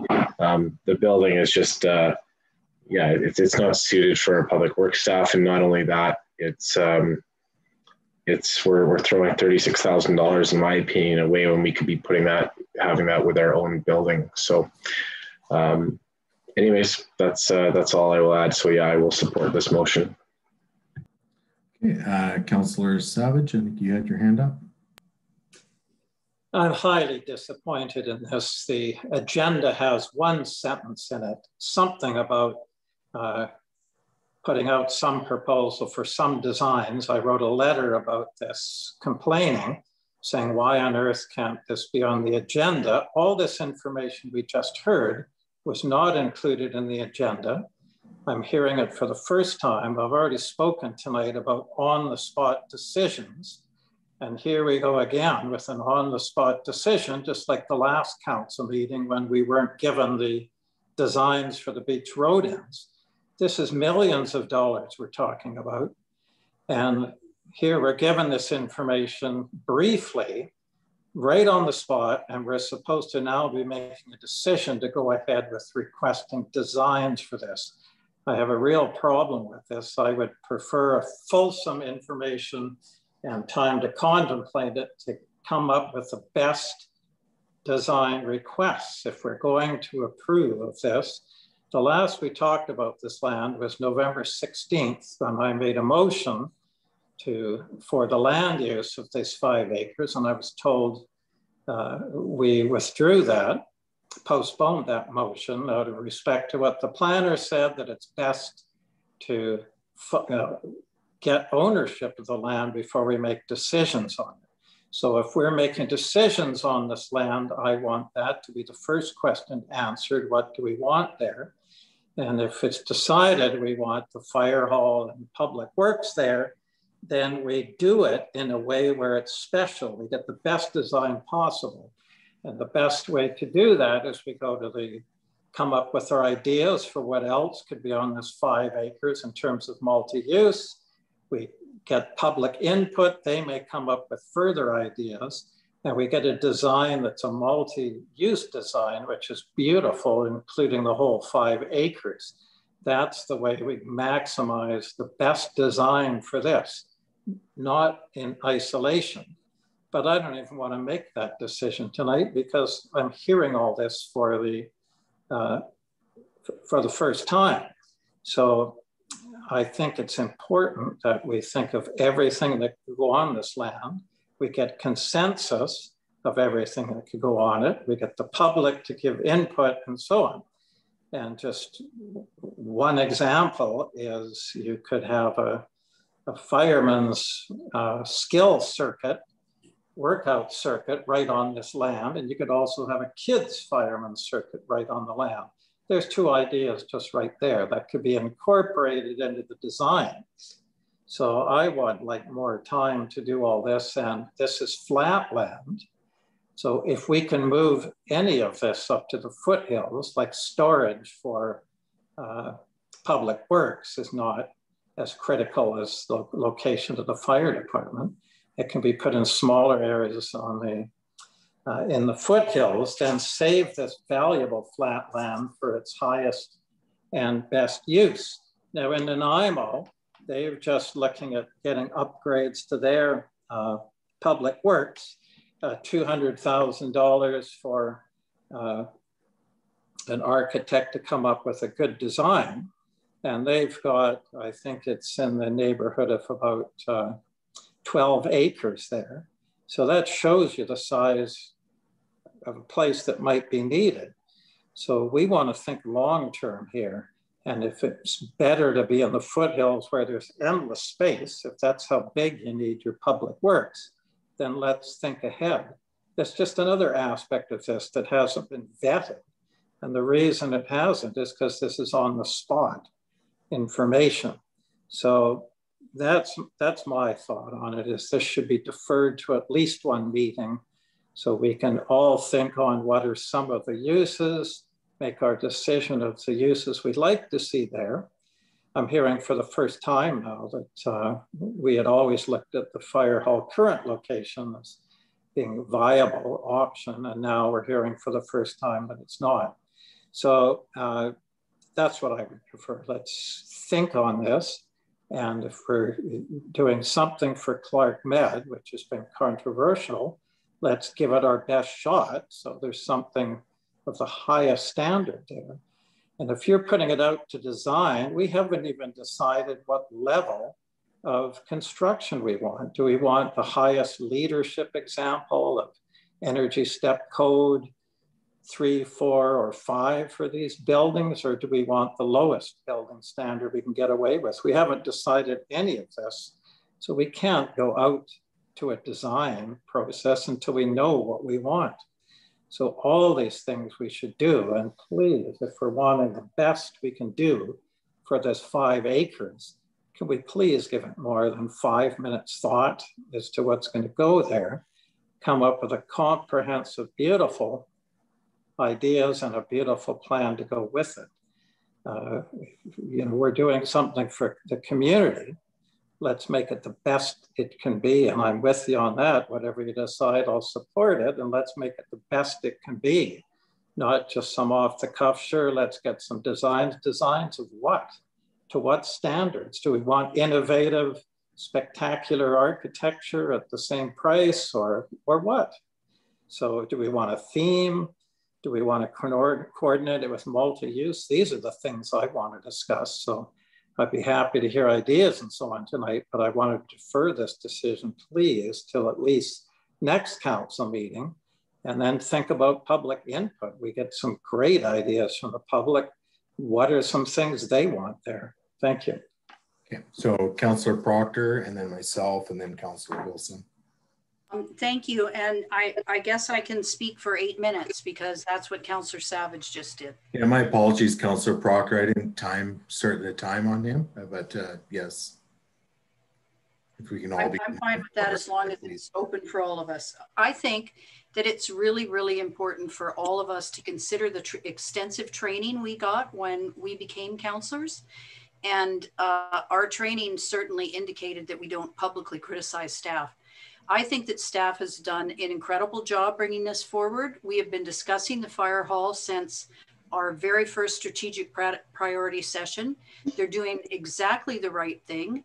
They're asking simply for an expression of interest so they can bring the appropriate information forward for us to discuss at a budget session next fall. And without this, we won't have that information so that we can discuss it.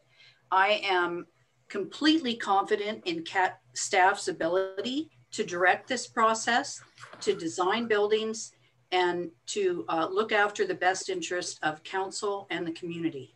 I, I want to make that really clear. This is the proper procedure. They're asking us to um, to endorse the expression of interest so they can bring forward information to us at a budget meeting where we can discuss the fire hall that we have been discussing since we were elected, but nonetheless, it does need to be discussed and vetted. And without this expression of interest and further information, I don't know how we could even begin to have that discussion. I'll, um, I'll give my extra five minutes to somebody else. Okay, so for myself, um, this is obviously an interesting one. I, I wasn't fully aware that we're going to be moving a motion this evening on this. Might have missed something. However, um, you know, my concern is designing, you know, obviously we're going to be designing a fire department, but um, with respect to the public uh, works facility, what, what scope are we designing? I, I don't understand. For me, we could throw up a couple uh, ATCO trailers on there. As long as there's shower facilities and a meeting room, it's done. We don't have a lot of public works staff, and, and why we need to create a big building with all sorts of bells and whistles doesn't make a whole lot of sense to me. We're a small municipality. Um, what are we building? Um, you know, so I, I, would like to see some more information coming back in terms of design requests. I, am not fully understanding of the motion. Um, you know, I can understand, you know, we're looking out at projected growth of the community and what would be required from a fire department standards. Uh, that's kind of probably a lot simpler um, and exercise for staff to go through. There's certain parameters and standards that need to be followed when de uh, designing um, fire halls, and um, and they can probably come back with a pretty good uh, price on that or an accurate price. But in terms of the facilities, I don't understand what that's going to look like. Um, why not move the whole district hall up there? It doesn't need to have an ocean view. Um, you know, these are some of my preliminary thoughts. I don't understand what what facility is going to be designed or the scope of that. Um, I'm very reluctant to even consider passing this tonight or voting in favor of it. I would like to see a little bit more information coming back. Um, not everybody, I guess, is on perhaps equal footing with respect to the knowledge regarding the fire hall and uh, the current location of the fire hall and how that uh, may um, or how it's likely going to be affected in the future, or we won't be able to have a fire hall there in the indefinite future. So um, perhaps that information can be brought forward. You know, all we're talking about really is one meeting. Um, and sometimes this is the thing about, you know, like um, this council, we've really just dealt with everything um, in council meeting situations. But something like this, I think, would have probably been better dealt with in like a committee of the whole kind of environment. But we don't have that option. And being on the under the gun sort of thing to make decisions in a council meeting environment um, isn't always easy. And then I think sometimes if it's not, if it it's not that time sensitive. We're really just talking about perhaps bringing something back to our budget discussions um, for this fall. Um, if there are requests of individual members of council, get them in and let's uh, process that and deal with it next meeting. It's two weeks away. So, you know, for those reasons, I, I won't be voting in favor of the motion tonight. In fact, I'd rather just defer it to next uh, council meeting and and if there's questions for um, staff, um, then to submit those questions, have them answered. But I'm really don't know what what we're designing. Yeah, we've talked about the fire hall a lot. We've talked about uh, yeah, thirty six thousand, three grand a month. You know, that's uh, not a ton of money um, when you really don't have any skin in the game uh, for everything else that goes into uh, you know maintaining a building and everything else. So in some ways it's not a bad deal, but I would agree with the previous speaker on this. It's not the greatest of facilities, but I think moving forward, you know, a couple ATCO trailers would do the trick. So um, I think I had Councillor Wilson and then we have Councillor Proctor and then Councillor Geselbracht. Oh, you're muted, Councillor Wilson.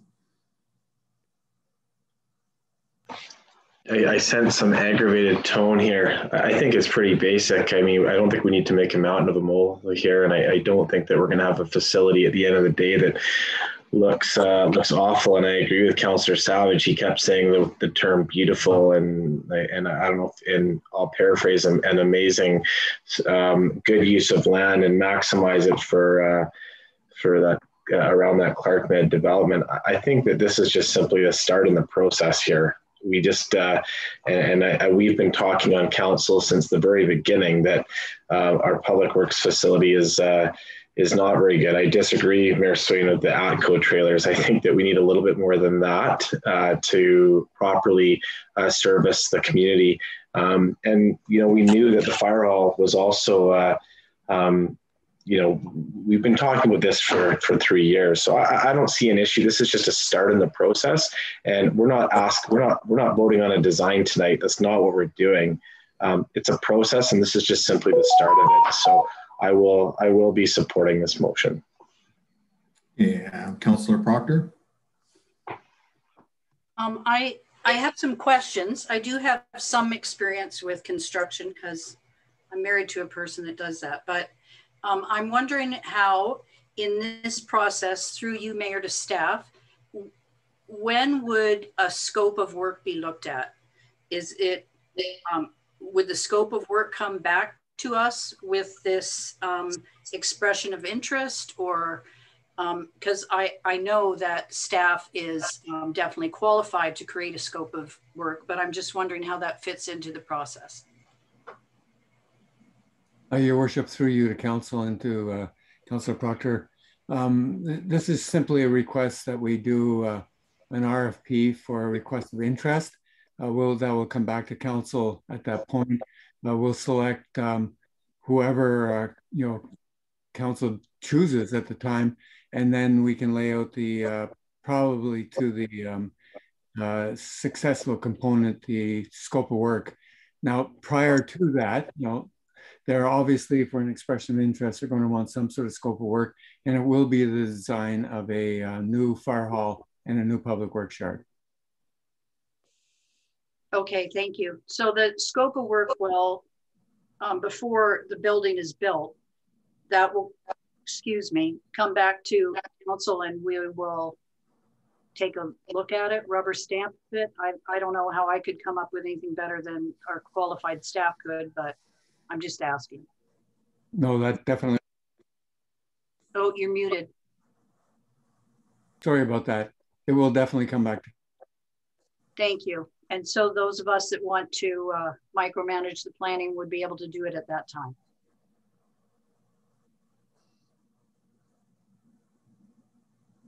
Okay, so I have Councillor Geselbracht uh, as the next speaker. Um, Councillor Savage is uh, unmuted right now. Thank you. Um, in uh, 2008 till about 2013, I was the chairman of the Nanoose Fire Protection Society, which was the governance uh, council for the Nanoose uh, volunteers. And during that period, uh, we, we went under, underwent the same process to build a new fire hall, which, which ultimately ended up in a uh, more than $2 million fire hall, uh, beautiful project. But um, from my recollection, it was a long process. And it had to start with this expression of interest to uh, get the ball rolling. Uh, and in fact, it was a two year process to get the, to, to start getting the shovels in the ground. So it's a very long process, and I, and I doubt that this is going to be any shorter. And so uh, I have to agree with uh, previous speakers that it's a first step. Uh, council will certainly be able to weigh in, uh, look at uh, what's happening, what, uh, what sort of designs, what sort of uses. So I'm confident that staff will Uh, accommodate us in that. And so I'll be supporting this motion tonight. Okay. Any additional speakers on this item? Okay, so Councillor Savage. Yes, when you ask for a design of a house, you, you give the critical information. What's the budget? How many bedrooms do you want? What kind of functions and uses do you want for it? None of this has been decided. Just to say, oh, well, let's do a design for a public works yard. Well, for what? Is it part storage? Is it what type of building do we want? As I said before, what to what standards? The lowest building standards, or the you get a completely different design uh, interest, or you know, depending on what level of of architecture and and energy quality it is. So that we just don't have any of this information. Just to say, oh yes, give a design. Well, you have to tell people what you want them to design. And I do not know what uh, is wanted in terms of design. Are we designing for the near future, the very long distance future? That's a big consideration. And also the key component, the first thing that you'll be asked when you go to get a house designed is what's your budget? And what is the budget here? We have to come up with that. So uh, it's, it's really premature. What is it going to hurt to leave it for one uh, council meeting? It's not going to hurt anything. And I've got all sorts of questions and ideas that I'd want answered. And also, we haven't even decided the ultimate use for this land, uh, what other uses we might want to integrate with it, and, uh, and so on. And a quick question, please, through chair to staff. Has this got any relationship to Village South, this coming up at this time? No, it doesn't. Okay, thank you. So that's that's my thing. If you would please at least give it one more council meeting to get a more fulsome approach to this instead of, oh, just a fire hall and just a public works, whatever building, whatever it's going to be. I don't even know that. Uh, this is millions of dollars and I would like to get more information, to have a more informed decision on the design of what uh, for this millions of dollar project's going to be. And it's close to my heart uh, producing something of the highest quality. So uh, I just want to make sure when we ask for designs, we to what standard and for what. And those are questions I'm hoping can be answered. So please, can we just leave this for one meeting. It's not going to hurt anything. Uh, and we'll deal with it at the next meeting. Councillor Savage, I got to interrupt you there. You're about over three minutes. Um, I was going to just speak briefly again to this. I'm still like, I'm actually legitimately confused on the design at the end of this and perhaps staff can spell it out a little bit more clearly for me like this request of interest uh, of uh, sorry this request for expression of interest like for for the facility to design like if um, if this is approved what are what will be coming back to staff and eventually the council? Or will we be getting an actual design coming back to us? Uh, no your worship uh, uh, through you to council. It's, it's simply a request for an RFP to go out for an expression of interest to do this work, which would be the design of a future potential fire hall and uh, fire hall um, public works site on that five acres. Um, that's all we're asking for right now is an expression of interest that we have you know, people who are would come forward and say, yes, we're interested in doing that. That's it. Okay, so I, I just sorry, I'm, I don't know why I'm having a hard time processing it. So really, you know, just for so I'm thinking out loud here, it's really to ask for you know potential um, architects or design groups to come back with design and or like yes we want to perhaps do this design work and then would uh, with part of that process would they then be giving us uh, an estimate on how much that's going to cost to undertake such works, or is that going to be a separate process to actually come up with an architectural design of uh, what these future buildings could look like? Now, it's a request, uh, Your Worship, through you to Council.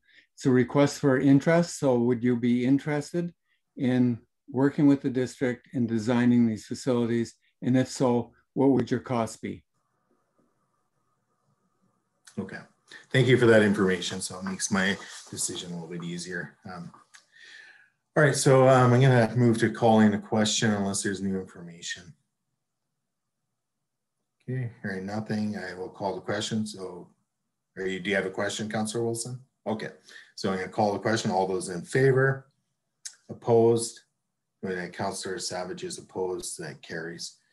Um, takes us on to item D. So we have the construction traffic. Um, this is uh, uh, Councillor Savage's recommendation. So go ahead, Councillor Savage.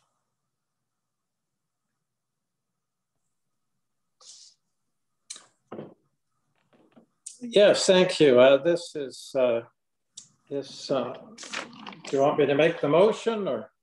If you want to make the motion, and then we'll get it on the, the you know floor and you. discuss.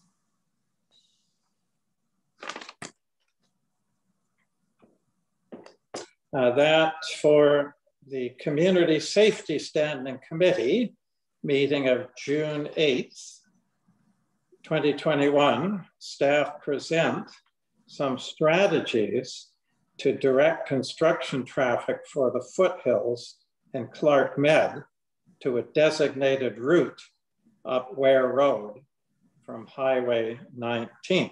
Okay, do we have a seconder to the motion?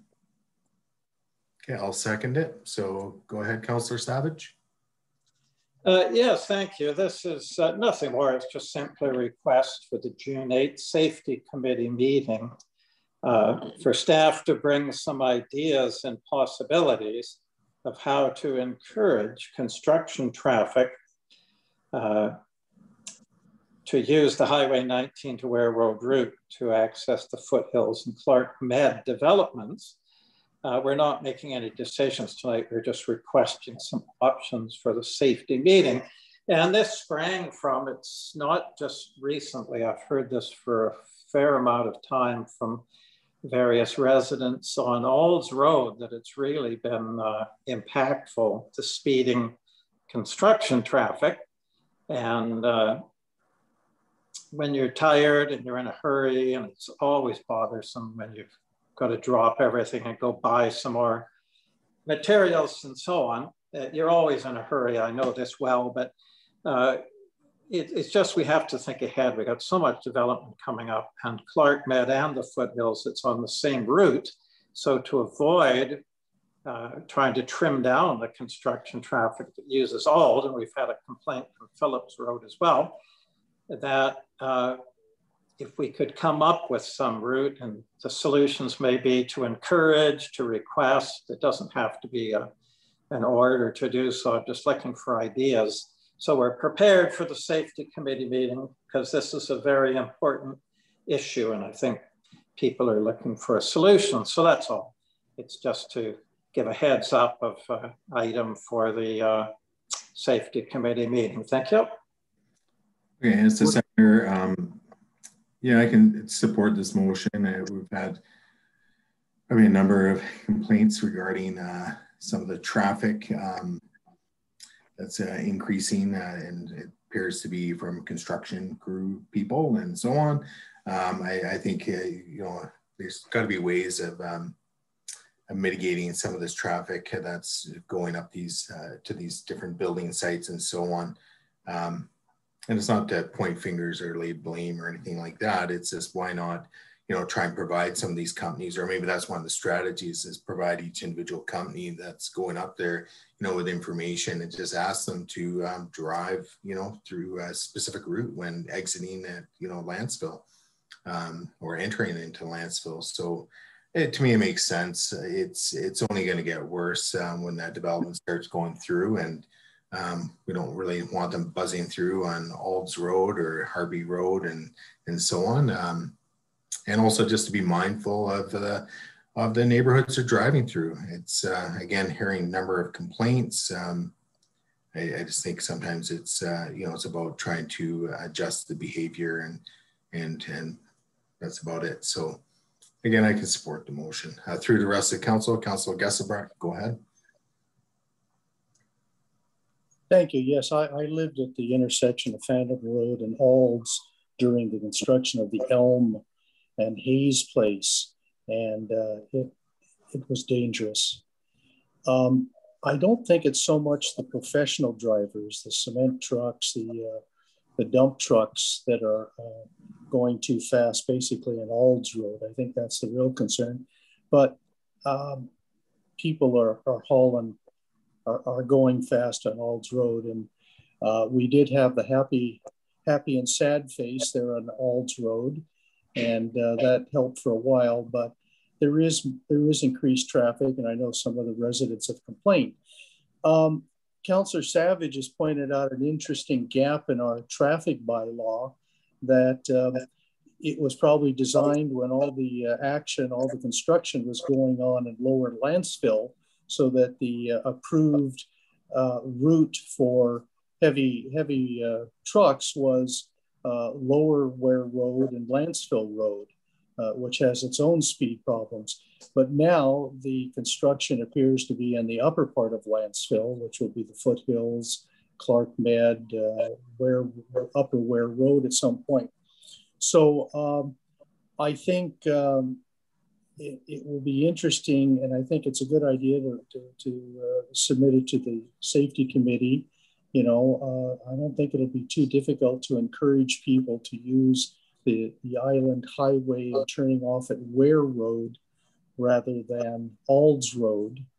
Uh, for anybody going to the foothills, especially. Uh, once Clark uh, Clark uh, is open for construction. It's a little different um, strategy because when you come off the Island Highway at Aulds, it's a quick turn into, into Clark. But from the other end, the, uh, the western end, uh, certainly Ware Road is smart. So I think no, I think it's a good proposal, um, uh, and so I can uh, I can support this motion.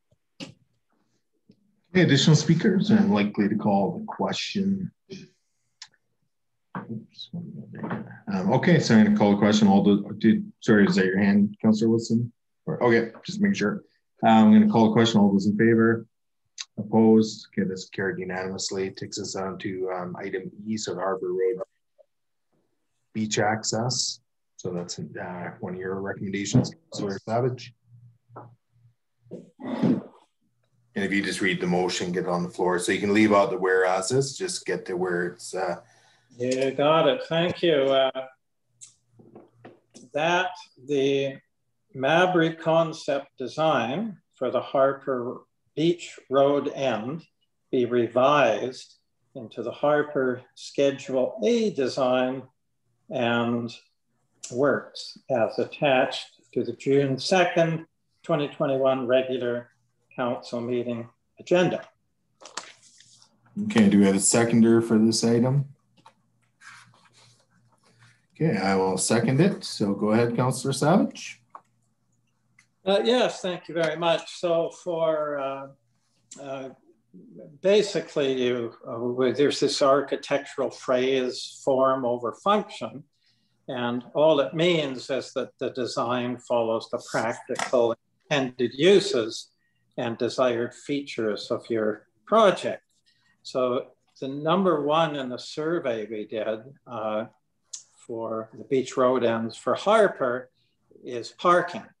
And this function is not included in the design, it's being excluded. Uh, so 100% of parking at the road end with the Mabry design is being eliminated, except a handicap spot uh, on the, the, road there. Has, and the road's been narrowed to one lane uh, for 100 14.5 feet wide for a length of 154 feet. And uh, that again is something that wasn't included in the survey. Uh, there's an expanse of 200 foot sidewalk thereabouts, but sidewalks were not a category in the survey either. Uh, so again, the survey is being excluded from this design. And these are roadworks projects I see, sidewalks and road narrowing, that sort of thing, well away from the beach road end and really is unrelated to the beach road end as a project in itself. Uh, so, and this sidewalk further eliminates parking, which was the number one desired feature. Uh, and there's proposed native trees to be planted on each side of the green space, but this will make the green space even narrower. And the problem is will likely block the view of the neighboring properties with branches overhanging on the properties and, and so on. So my solution is just the, uh, uh, the simplest of, uh, of, of, things. It's just simply uh, a rectangle of, of grass, uh, small, with all, all of it has an ocean view. And other than that, so it's just going to take some soil for that, certain type of soil, nothing else. And it's for unloading kayaks, a sitting area, dining area, wiping sand off your feet. And then the only other thing is just to leave the rest of the road end as it is, but just you know, mark the park, delineate the parking spots with some removal of encroachment. There's up to 10 feet or so of encroachment there. And that's it. So the parking is, if you can see in the picture I sent, it's just haphazard. So if you delineate it so it's perpendicular to the hedge, occasionally you see it like that and it maximizes the amount of parking in there. So it'll be a very inexpensive fix and it will increase the green space and increase the parking, which is high on the list of the survey and be inexpensive. So that's it. It's just a simple, simple, inexpensive uh, improvement is what I would uh, suggest with all due respect to the Mabry students. Thank you. Okay, so I've got myself down as the seconder and then Councillor Wilson and Councillor Geselbracht. Um, yeah, with respect to the motion, it, it's this is a interesting um, motion that you know because ultimately it's um, you know providing input into the ultimate end design and and ultimately how do we get to that end design that's really the even bigger question um, and also taking into consideration uh, public input and so forth as well as local resident input and so on one thing that's always top of mind when i look at these um, is I'm thinking like broad community. Um, you know, I want to be respectful of the residents that are in that those areas or that are joining properties. But at the end of the day, we're we're planning beach accesses for the entire community. Doesn't matter if it's Lavender or Harper or any of them. It's uh, we we have to look at our community. It's a growing community. We have 250 dwelling units going in uh, Clark Medd at some point.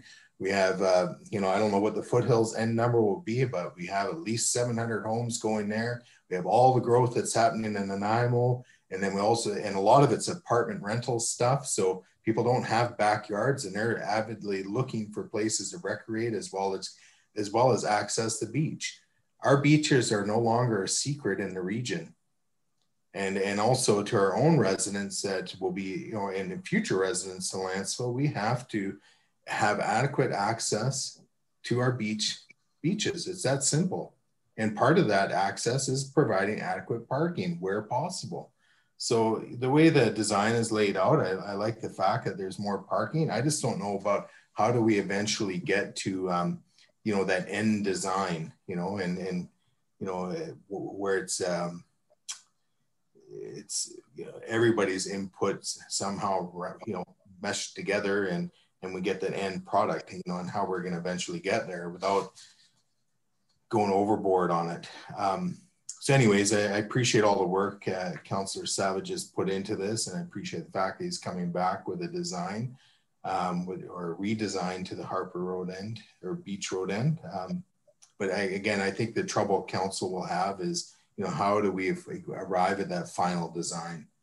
But again, top of mind for me is community and you know and i don't want to sound ins- insensitive to the residents that live or, or border or neighbor these beach road ends but you know again we you know the within the design process um, there will be respectful uh, steps taken to you know to try and maintain you know the the quality of life those individuals have in that area however and then there's always a yeah but or however um, we still have to look at providing access to the entire community so those are my thoughts at, at uh, first uh, onset here. Um, I think I had Councillor Wilson and Councillor Geselbracht.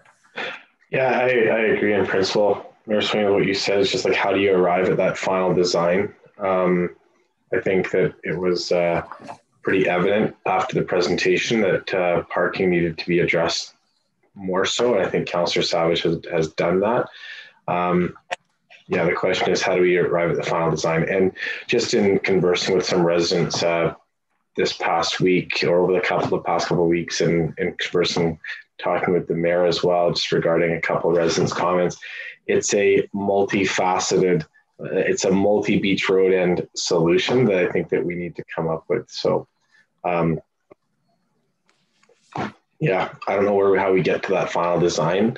Um, I think what Councillor Savage, the spirit of your of your design is is good. That we need to have more parking, uh, but I think that this is a this is a solution that we need to take some time over the next uh, you know over the next three to six months to really kind of lay out, and then ultimately this would be stuff that we hopefully put into action next uh, next year um, when we do our financial budget. So let's not you know pin the tail on the donkey and put that solution in place today. Let's we need to work at this. So I agree with Councillor Savage and more in more parking needed. And uh, yeah, thanks for your hard work.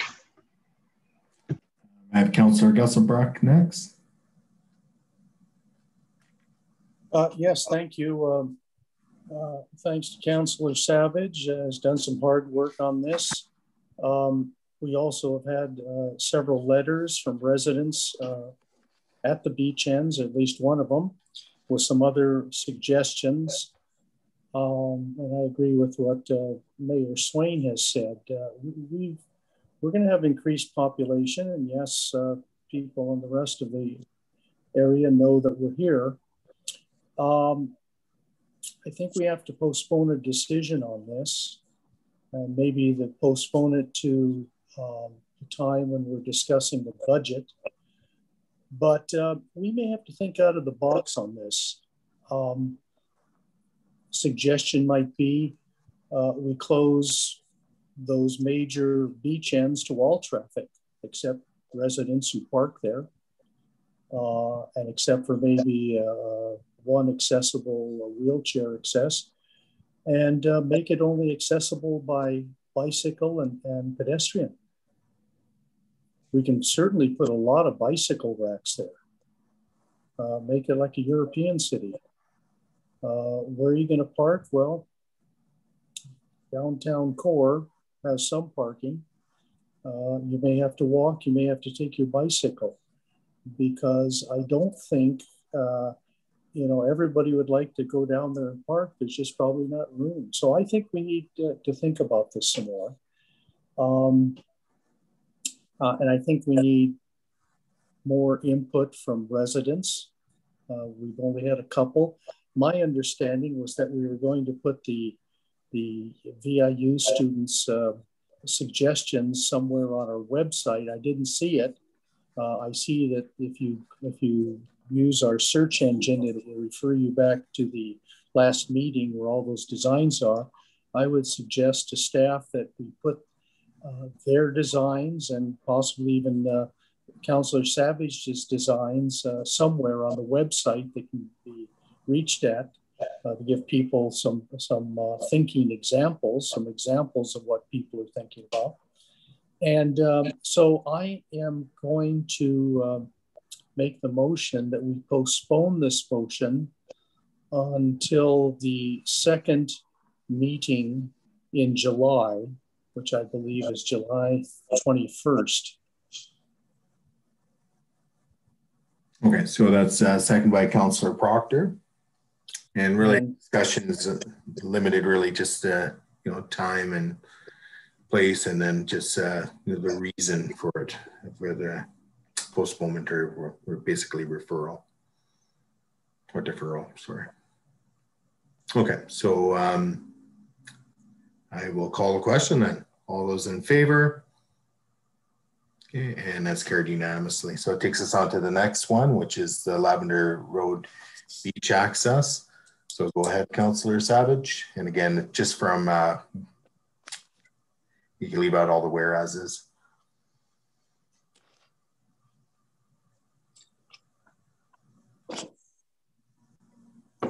that phase one of the Lavender Beach Road End improvements be limited to making the district land west of Lavender Road safe and pedestrian accessible to the public.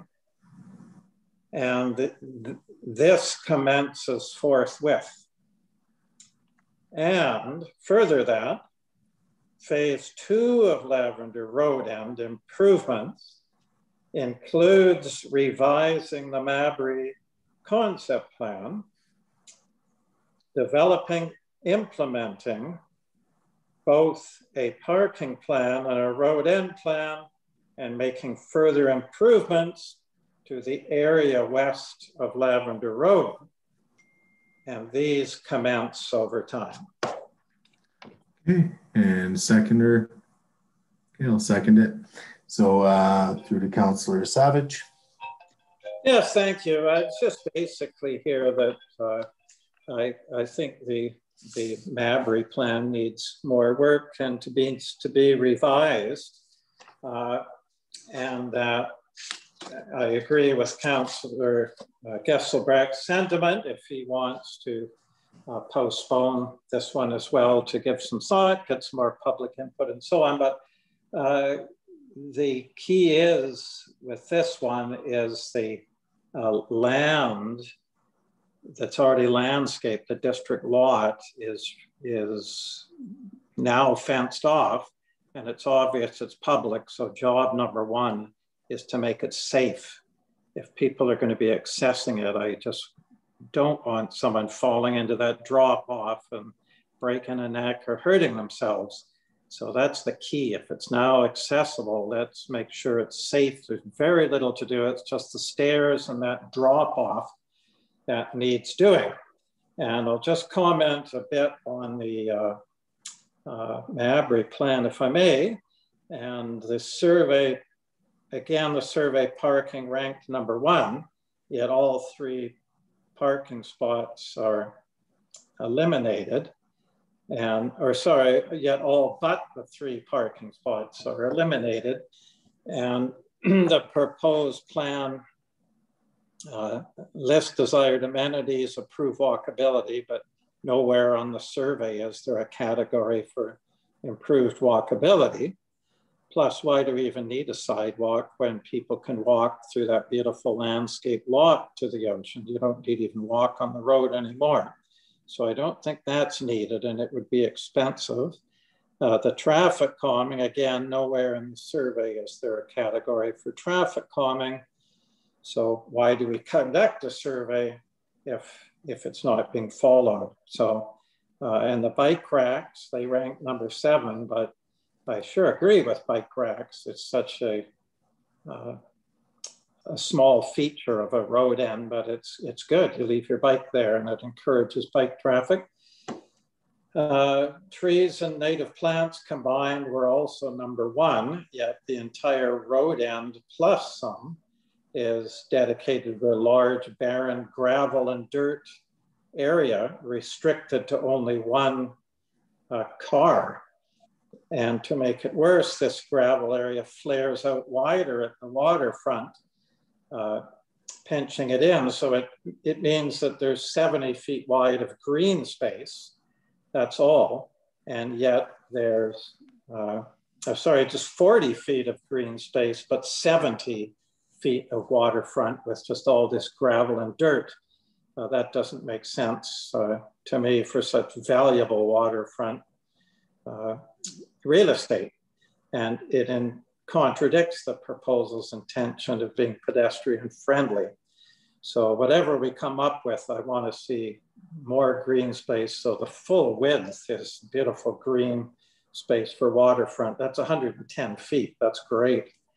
Uh, so what makes more sense for residents is you drive down Lavender, then you turn left into a perpendicular, compact, organized parking space back from the beach. This provides lots of parking, eight spaces, plus three parallel parking spaces on the other side, unless we want to leave those solely for the resident, which is fine that lives there. And the front of those parking spaces, you still get to view the ocean. So it's, it's a good solution that way. So, and when you leave this organized parking, you simply back out and drive back up the road. And this was the Coors plan. It was all engineered, all done. So I'm hoping in our uh, consideration of this, we also consideration that plan. It's ready to go. Whereas this Mabry is just nothing more than a concept drawing plan. So anyway, that's basically it. I've drawn the boundaries on there. So all this motion does is it draws the boundary around what we got to make safe. It's just responsible to do it as, as fast as possible. And the rest of it, we just leave as Council Geselbracht suggested for future consideration, take our time, go through it, but not rush ahead with any plan at this point. Just uh, have more consideration. And if we have to, just do it incrementally in small bits. You don't have to do the whole thing all at once. So that's the suggestion. Thank you. And before we go any further, I just want to mention there's six minutes left to the meeting. Yeah, well aware. Thank you. um, yeah, from office secretary again uh, through to Councillor Savage. Appreciate the work you've done on this, but my comments are very similar to the to the last one with respect to um, Harper Road. Um, you know, the one thing we, we do have in our budget for this year is we have the $9,800. And I think with that $9,800, we can definitely deal with the hardscape issues um, on the landscape portion, like fill in the hole, rip out the stairs and do whatever excavating work to have a gradual slope. Um, but that might be it. But I, I think it is something we need to draw our attention to sooner than later. But again, you know, here we are, we have this, uh, and I've spoken to this uh, in the past um, very passionately. And, uh, and it has to do with, you know, this is a waterfront park in Lantzville. You know, it, it's a great space. I was down there today and, and I, I struggled with the whole concept of removing the all the parks from the front because I was one of four vehicles parked along the ocean front and sitting in my vehicle doing a telephone meeting, but it was a beautiful place to do it. And everybody else to my right was in their vehicles as well. So not everybody, you know, can walk to the beach or cycle to the beach. They drive to the beach and that's their enjoyment. They walk, look out and can't help but notice that a lot of them are elderly, but um, that's just the way it is for some people. Again, I, you know, it comes down to the idea we've got to try and keep um, our beach road ends accessible to the public. Look at the larger picture, the, the look out what we think is in the best interest of the entire community, while also being mindful and respectful for the residents who live near there. So it's not like we're suggesting let's put all the parking in front of someone's house. It's across the street. We're being respectful and mindful of that. Um, even the way you know the original design, or not the original, but the design from the students was is having the cars angled up the road. Well, at least there's not lights, you know, shining in people's windows and so on. So again, there's just small little things like that. I think show that there's been um, some respect and consideration taken for uh, some of the residents down there. But again, you know, I, am looking out for the, you know, as you, I'm sure all of us on council are, the, what's best for the entire community. And we have some big pressures that will be on our on our beaches and our road end accesses and all that stuff. So mind you, it will be similar to even the other parks, like even Huddlestone and so forth. Population's growing. So uh, mindful of time here. Um, I don't know if we just want to postpone this one to that same meeting and second meeting of July. So I'll make that motion. And is that a second, uh, Councillor Geselbracht? Okay. Um, any discussion on that postponement? Okay, hearing none, I will call the question. Okay, that's carried unanimously. Sorry, through the council, I'm not trying to get the last word on that or anything. It's just, I think the direction is pretty clear on these sorts of things. Um, we are running out of time. So um, through the council, are we going to go past 9.30 tonight or is there, just by a show of hands, is there, or hand, uh, is there anybody who does not want to go past 9.30? Okay. So um, we literally have three minutes left in our agenda. So Councillor Savage, if you want to introduce your next one. Uh, yes, thank you. If I may, uh, could we just leave these so they're complete at the next council meeting. They'll be passed Yeah. on anyway. I think it's All right. best, best to do that. So, and thank you. And could I mention one thing, Mayor Swain? Go ahead. As a point of privilege, I had a motion approved tonight. Have you got the champagne or can I go out and buy some? eh? Did you notice that? All right. So um, considering we are not able to finish our agenda tonight, need a motion to adjourn. I'll just make the motion to adjourn, second by Councillor Geselbracht. Any discussion on that? Hearing none. Um, uh, question, all those in favor? Okay, that's carried unanimously. We are adjourned. Thank you, everybody.